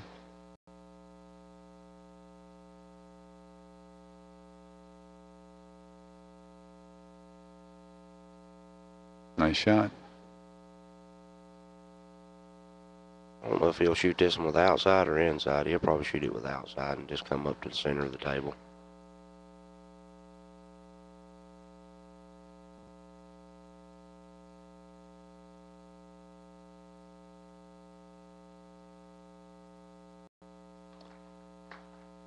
Score's now six to four.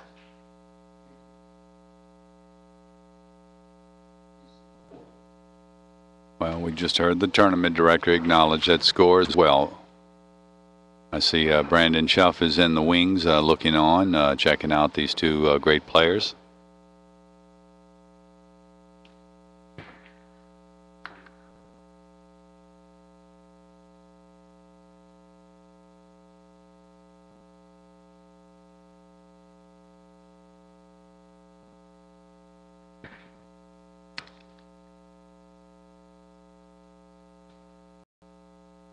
Our uh, stat guys have just brought us some uh, new statistics uh, on this match. Uh, Ronnie Alcano is shooting a 926, and Roberto Gomez is shooting an 880.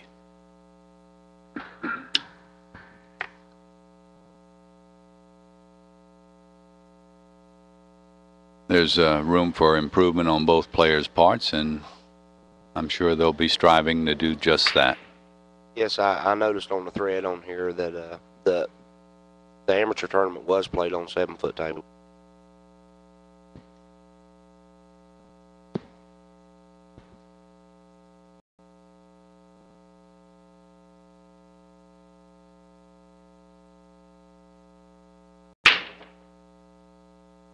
Had a lot of follow on that ball, on that on that cue ball. It didn't make nothing.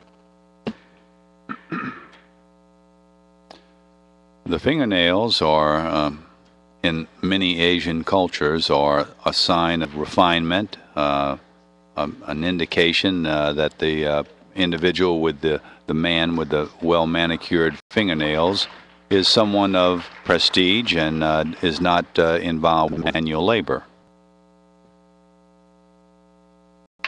At least that's what my research tells me. I'll have to confirm that with some of my Pinoy friends and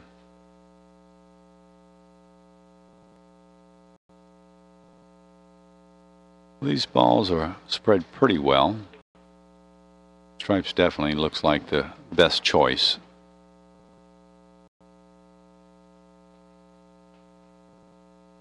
I don't really see no problem. The only problem, I, the only problem ball I see is the 10. You see the um, 14 uh, 11 as your kiki ball, or you know he's going to have trouble cleaning that uh, 15 and 9 out right now. And you know, I, I think he's going to have to try to come on in here and get in there. Maybe make just the 11 ball a soft touch on the 14 11, leaving the 14 in the hole. Yeah, I think he'll come two rails, and if he gets Well, it's rolled and rolled and rolled. He's going to have to shoot the 10 ball. Yep.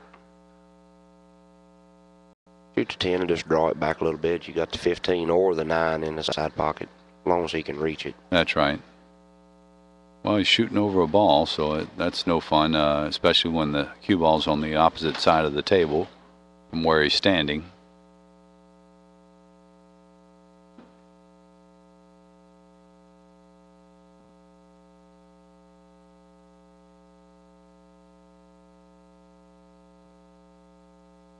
Well,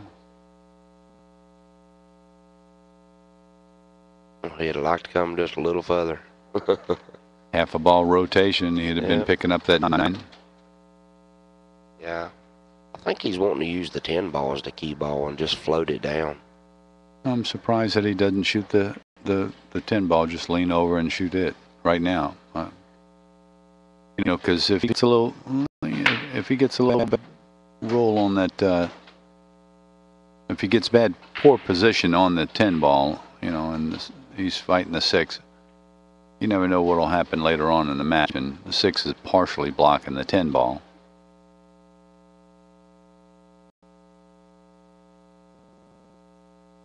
No, Yeah, it's just too risky to, yeah. you know, shoot the 10 and then 15, 14, 9, 8. Uh-oh. Look at this. This table's fast. Like Ronnie's uh, stepping out.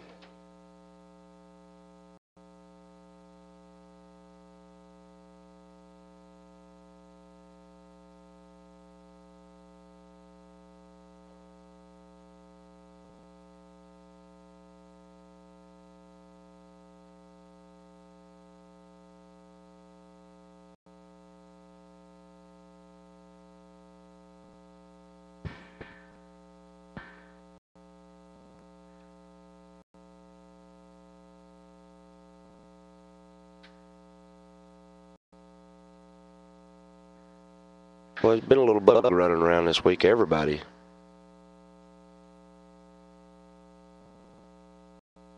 You know, uh, I you know I try a few different things. Uh, I actually I play with a Tiger X shaft and a uh, Paul Summerall cue.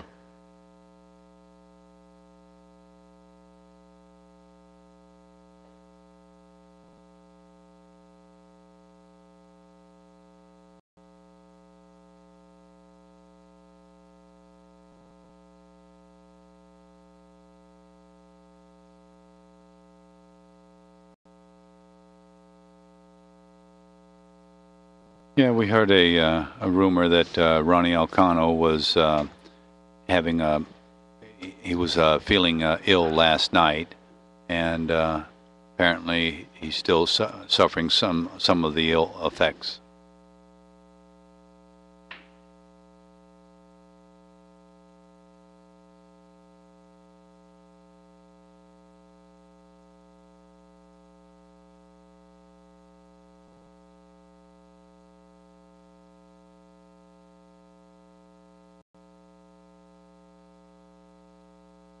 I'm kind of shocked that he drew that ball that far. He Oh, could have yeah. he could have shot the 15 or the 9 in the side. Right. You know, it's just just misstruck the ball. They made a fine shot there. Wow, what a shot! What a shot! You know, he, he recovered. Uh, you know, it, this wasn't something that the table gave him. He gave that difficult 14 ball shot uh, to himself. Now he's got uh, one, one that's uh, also difficult. He has to make sure that he gets up high enough on the nine ball where he can still make the eight ball. Yeah, looks like he's just going to draw it to the end rail. You know, he doesn't want to run that cue ball up between the five and the six unless he, you know, I mean that's that's almost suicide there. I mean, That's begging for a, a beating. Got to put a good stroke on this ball. You know, you may want to elect to use just a little bit of bottom inside and come two rails and maybe even run into three.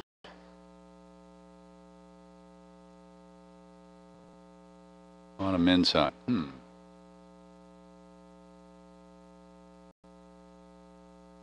Either he's going to use that or bottom outside to come up one rail.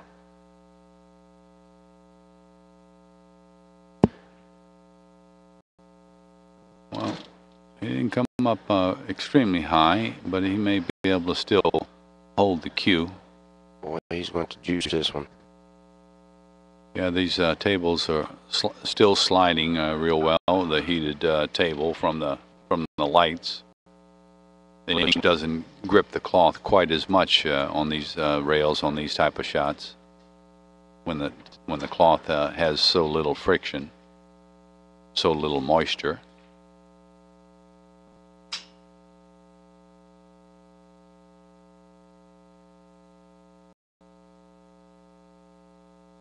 Now here he's just going to use low inside, I believe. He may even try to run into the five, Joey, and come back over. That's dangerous if he runs into the Oh, five. wow, how'd he hit that ball? Perfect shot.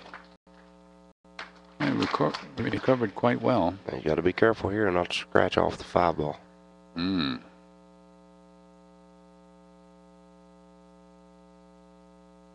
Oh, you're right. It was aimed for the edge of the five there.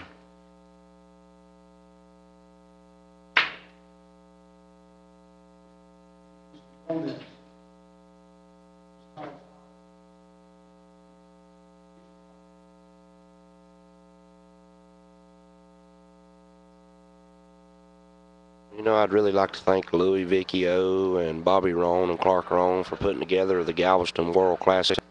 You know, the bringing in all these nice diamond tables to play on. Again, I'd like to thank our sponsors for this tournament here. Uh, Predator Poison Cues, Simonis Cloth, Aramith Pool Balls, Ashley Furniture, Hertz Rent-A-Car, Inside Pool Magazine, Radio One, and Beard Factory.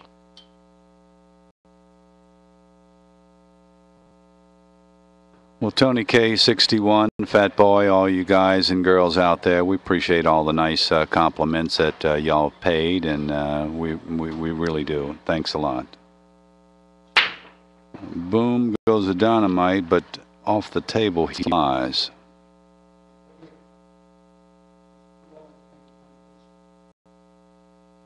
You know, he did that one time in warm-ups. I, I didn't figure that he was going to... I mean, I figured he'd have that under control. Yeah, I think he uh, joked about it uh, flying off the table like that. That's never going to happen again. But he's got that big, powerful break and uh, raises arm and elbow up so high in the air and gets such good speed. And as you had mentioned before, uh, he held, uh, formerly held the high-speed break out there. And well, that time, if you don't hit him really square, bad things can happen, eh, Charlie? Yes, sir, for sure. The secret to the break is hit pan time. It really, really is. Means a lot.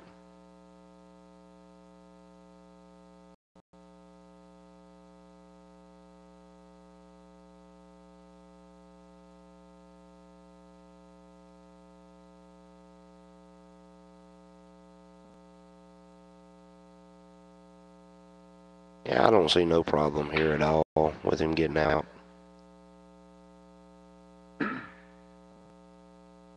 Now, I think he's going to shoot the seven in and draw back out. If not, he's just going to shoot soft and get a little bit of an angle on the four. That Don't- uh, don't six, six ball, six balls. You know, he's just. You know, I- I don't like uh, him having to travel across the table to get back to the, the six is his key ball. Yeah, I don't like that either. He he needs to get an angle so he can get back to that six ball. But I think hmm, he's got to be careful a little bit here. No, he needs to go ahead and shoot the five ball right now, Joey. I'll tell you what. Uh, I, I I would try and find a way to get on that six if I could. Maybe shoot the five and then the one six.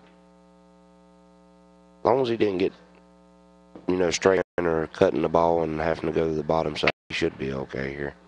Yeah, if he draws this draws this ball, he has to make that uh, four ball in this corner pocket. I, I think I'd follow it on up. I think that's what he's going to do. Don't look like it. No. He didn't like it, so I mean, he's got no, no trouble here. This ball, at the angle it is, it should come with low English. it, it'll come about three diamonds back on the opposite side rail. That's uh, right about three diamonds. I see you poke up and say you're telling the truth. I was counting, Charlie. You know, that's another one of the things that I use when a ball's close to the rail like that. Unless you put the super stroke on the ball, the best you can absolutely do, you know, like a shooting in, and say you got a 30 degree angle or a half ball hit, yeah. the absolute best you can do is three to three and a half diamonds Oh, okay. Uh huh. On the opposite side rail when you're Right. drawing a ball out. I see a lot of people, a lot of times, like a ball be one ball out of the corner pocket down here, and they Mhm. try to draw it above the side pocket, and they, they just can't get it done. Yeah. I understand that perfectly. You know, I, I'm I'm really pleased to see some of the non-billiard suppliers uh, sponsoring uh, this uh, free live stream to our internet viewers. Ashley Furniture, uh, really, I'm I, when I get home uh, from my trip, uh, I'm gonna jump on the internet, uh, find their email address, and drop them a little note and let them know how much I appreciate their involvement in our beloved sport. Uh, Hertz Rent a Car. Well, I'll tell you what, you're you're you're quickly becoming my favorite rent a car of choice. Yeah, I mean, it's something that we need more of. We need more outside sponsorship for these types of tournaments and different things, so that uh, you know people are just looking at.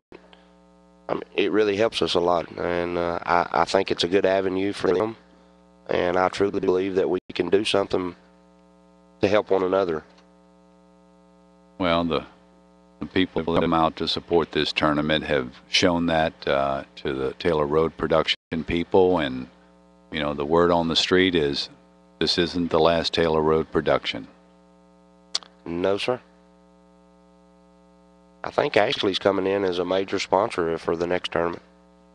Oh, that'd be great. That- That'd be great. Uh, we we And, need uh, all the non-billiard uh, sponsors that we can get, non-billiard supply uh, sponsors that we can get. There's a couple more. Uh, I mean, I was talking to Louis, and Louis said there's a couple more good things in the works.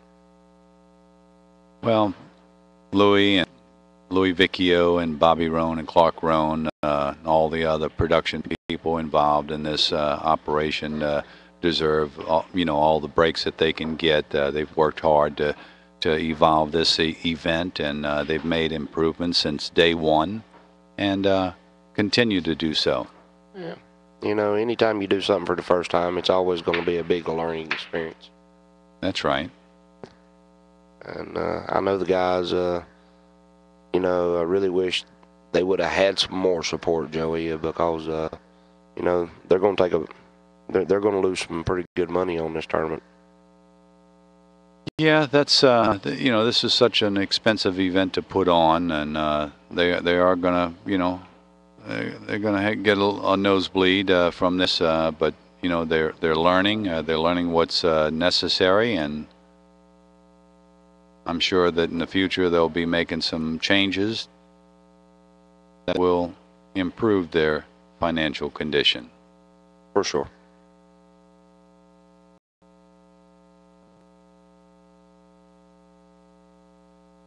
Boy, Ronnie's got a very nice touch. We took him quite a few strokes. Uh, that's unusual to see him stroke that many times. Yeah, yeah, but I mean, look what he did with the 13 ball.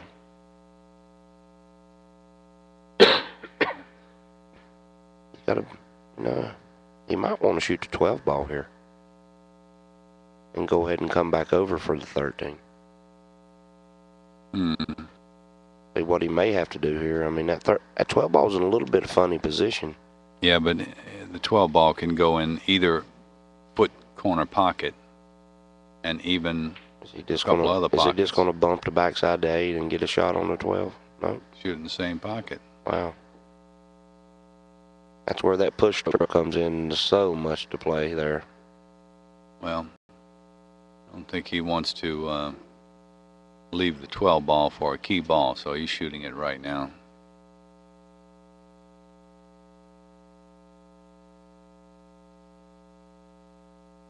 He would like it. you know, I don't know if he's going to try to come back across this line to shoot the 10 in the same hole. you know, that's a little tricky. And he needs to get almost dead straight in on this 10 ball, Joey, so he can follow through two rails. Right, I see the two rails. But I think he got too much angle. He may come across here. Yep. That makes it, um, um, you know, he's a tall fella. Uh, Ronnie's a tall fella, so he'll be able to reach across the table and go two rails, uh, maybe three rails would shape.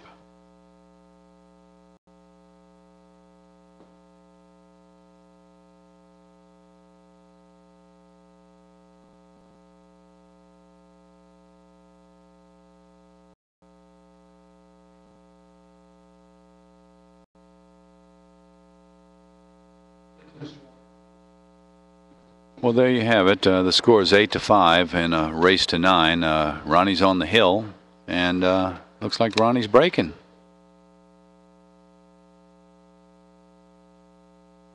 He'll go back to the center of the table again, that's what he just did a second ago. He was breaking from the left side rail. Well, I, I like the uh, the touch he had on the shot just before the 13, uh, manipulating that uh, cue ball to that position where he could just barely get past the eight. Uh, it was just a great shot. Well, it was definitely a toughy, a touchy position because uh, the cue ball and object ball was so close together, and for him to put such a wonderful stroke on that ball, he hit that ball pretty amazing. One of our sponsors, ProPool.com, the stats guys, has just provided us with a new set of statistics. Uh, Ronnie Alcano is shooting a 948, and Roberto Gomez is at 879. And both of them uh, continue to make some improvements. Well, look like Roberto is uh, staying about uh, his same number. He was clocked at 880, you know, 15, 20 minutes ago, and uh, Ronnie has kicked it a notch to 948 from 926. Well, Ronnie broke dry again. Did he break from the middle? I was uh, Yes, sir. looking at the statistics and missed uh, his break. Well,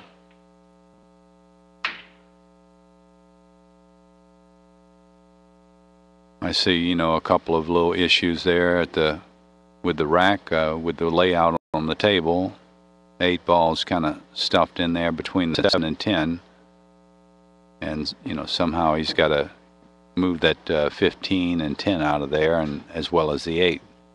Well, he got the perfect angle here to go ahead and get rid of one of the problem balls. He's going to float over, and he's going to 12 Right? next after he shoots the 11. Uh, yeah, the nine. I mean, the 11, the 12, and then maybe the uh, nine. You think uh, when he shoots the nine, he'll roll into those balls? Oh, he didn't get. He might be forced to shoot the nine now. So he may have to come around two rails. I don't. For thi- this I don't think the 15 passes the 10 in the corner pocket, does it? No. See here, either he's going to try to hold it or he's going to come around.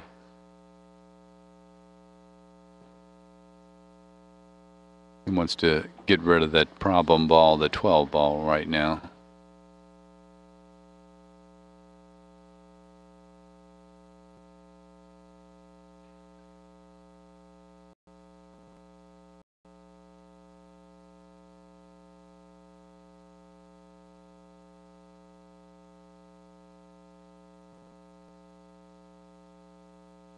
Like he got two straight. Oh, yeah, that, that 15 must must pass.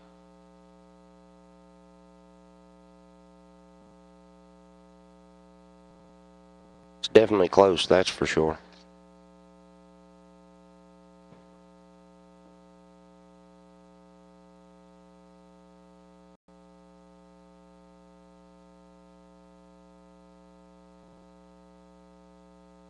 Wow, good shot. I didn't think it'd go from my, the way I was looking at it. Yeah, we, we've got a little different angle than what the players have, so sometimes uh, the shots just aren't, uh, you just can't perceive the angle from the commentator's booth.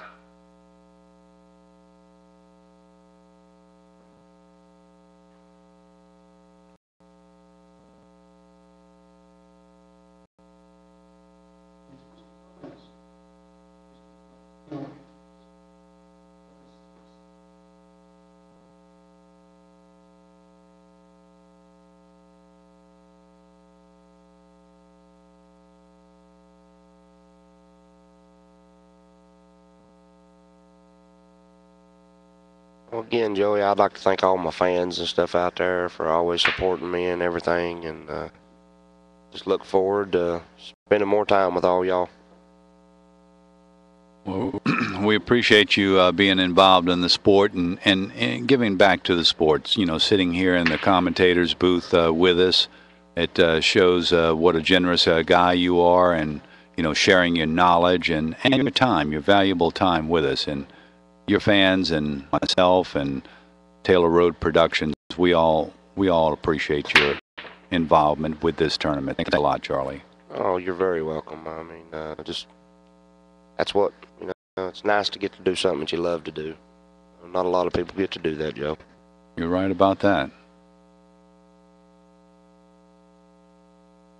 Well, right now, Ronnie's not loving this layout, but he's trying to figure out a way to. That's what I was just thinking. You know, I was looking at that 11-3 because it's actually open after the break, so you can use a stripe to make a solid. Mm. if you can get that little ball to follow a little bit and get a, get away from the uh, six ball, might free up the combo on the seven six. I don't think he's going to follow the cue to, to to dislodge the six seven. Those are the only problem balls in in in the solids, but he really doesn't have much of a shot on the uh, on the stripes. Maybe the ten ball on the right past the two, but that's about it. He's going to choose to just five ball. Well, he's going to have a bunch of bunch of problems with that seven six three down there. Oh, he missed the shot. Look at this. Just flat out missed it.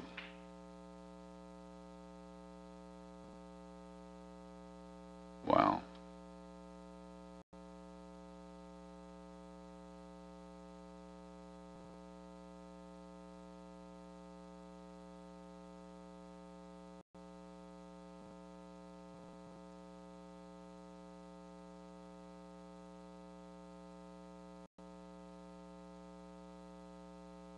Oh wow, the five went all the way back up there to the other end of the table.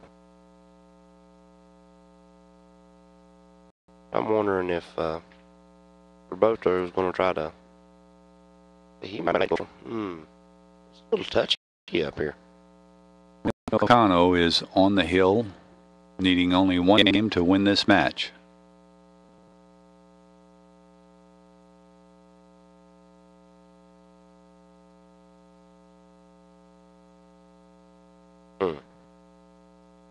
This is touchy here. A lot of bad things could happen. Well, of course, a lot of good things could happen too. Nothing but good stuff. The eight ball's the only problem right now for Roberto, and he's got a few choices on how he's going to deal with this. See here, I think he's going to shoot the seven and barely bump, bump the 14 and then bump the three ball a little bit up. What about uh, shooting the seven and barely bumping the eight ball and then shooting the three, six, and then the four? Yeah, it's touchy with this bridge, Ojo. Oh, yeah, that's true.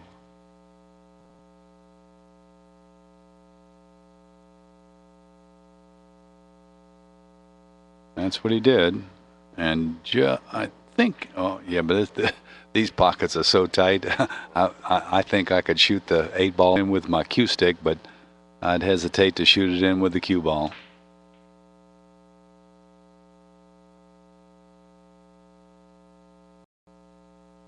Now he's going to be left with basically the same shot on the 3-6. Why would he want to shoot the 4 right now, Charlie?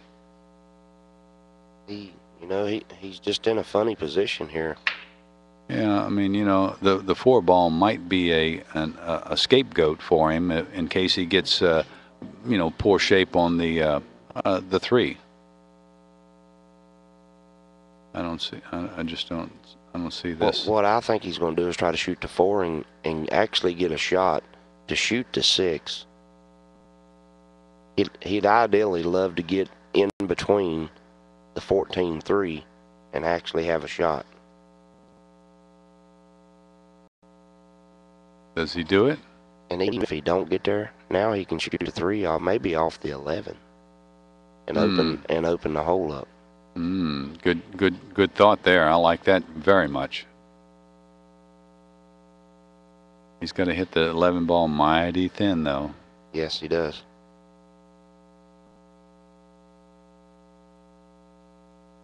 He just shoot it soft and get the right angle. He can still shoot the eight down the corner. No, no good there. Well, all Ronnie's got to do now is complete this run out. He's got a serious problem with the uh, three ball. I think he's going to try to maybe shoot the three into, uh, I mean, the 11 into the three. Put the cue ball behind the eight. Yeah. Mm-hmm. Looks good to me.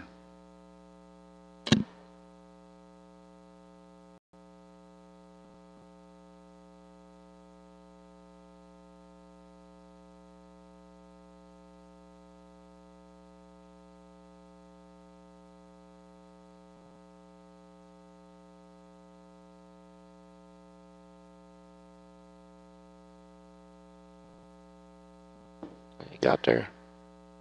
Left Gomez a pretty good kick, though. He's going to try to kick it one rail in the lower left hand. Wow, I'm surprised he's trying to kick his ball on the side. He could try to kick it down in the corner, and he's got sideboards off the 15. I mean, not sideboards, but he would have an ex something extra to help him. That's a mighty, mighty tough shot here. Well, either one of them. Long distance, eight foot. Where did I say An he should eight kick it? foot kick. Wow, look at this man kick this ball in. Ron- Ronnie's already at the table. He kicked it in where I said he should kick it in, and he called it in the side pocket, Joey. Yeah.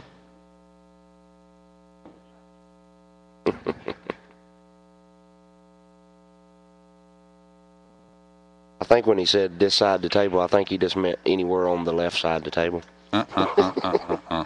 Be nice if you could call it like that, wouldn't it? You better believe it.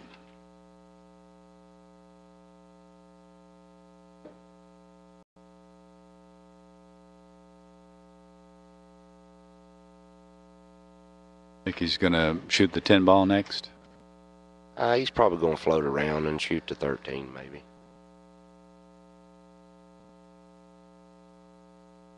I see these uh, players uh, avoid these combos, even though the 13-10 line is nice. They avoid them at all cost. For sure. Well, this is not all that great here. He's just going to draw it back for the 12.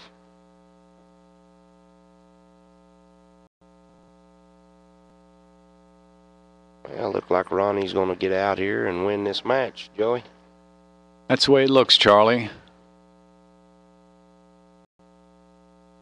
We've got uh, plenty more matches uh, coming up shortly, and uh, we hope that uh, you'll stay with us. Well, Joe, it's been a true pleasure working with you again, sir, and uh, look forward to maybe once again. Uh, Charlie, uh, I'm going to go get some coffee in me. Uh, I'll tell you what, I may, I may even follow you over there. It's uh, been a long week, and I, I need a little coffee myself. Thank you again, Charlie, for your time and all your great tips. Uh, I know the internet viewers all in, enjoy you greatly out here, and uh, you know it's uh, we've had like uh, 3,800 people that have you know visited our, our live stream, and uh, a lot of that's got to do with you, Charlie. Thanks again. Oh, Joey, you do a great job too, sir, and I'd like to give you all the perks. Uh, I mean, you really, really do a great job. Thank you, man. Take care.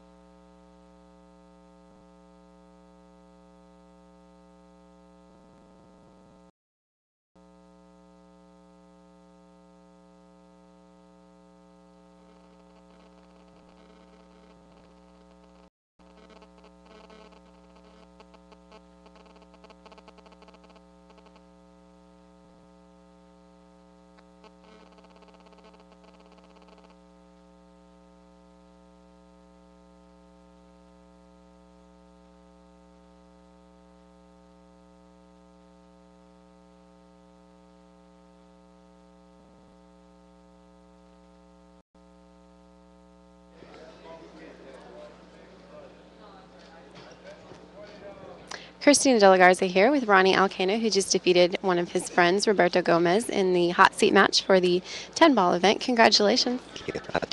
I know that you, I don't know if our fans at home could see this, but you were sick most of this weekend and you were kind of sick during this match. Did that affect how you played? Yeah, I have a sick. Uh, if I eat and then after eat, after 10 or 15 minutes, I like uh, like this. So sometimes my body is no good. Well, um, congratulations on your win. I know that you are not feeling well, so you want to get going. Um, but c- congratulations and good luck tomorrow. I think you, you don't play again until tomorrow. Is that correct? Yes, thank you. Okay, well, get some rest and good luck in your next match. Uh, thanks for joining us. Stay tuned. We have Nick Varner and Johnny Archer on the table at 2:30. Thanks.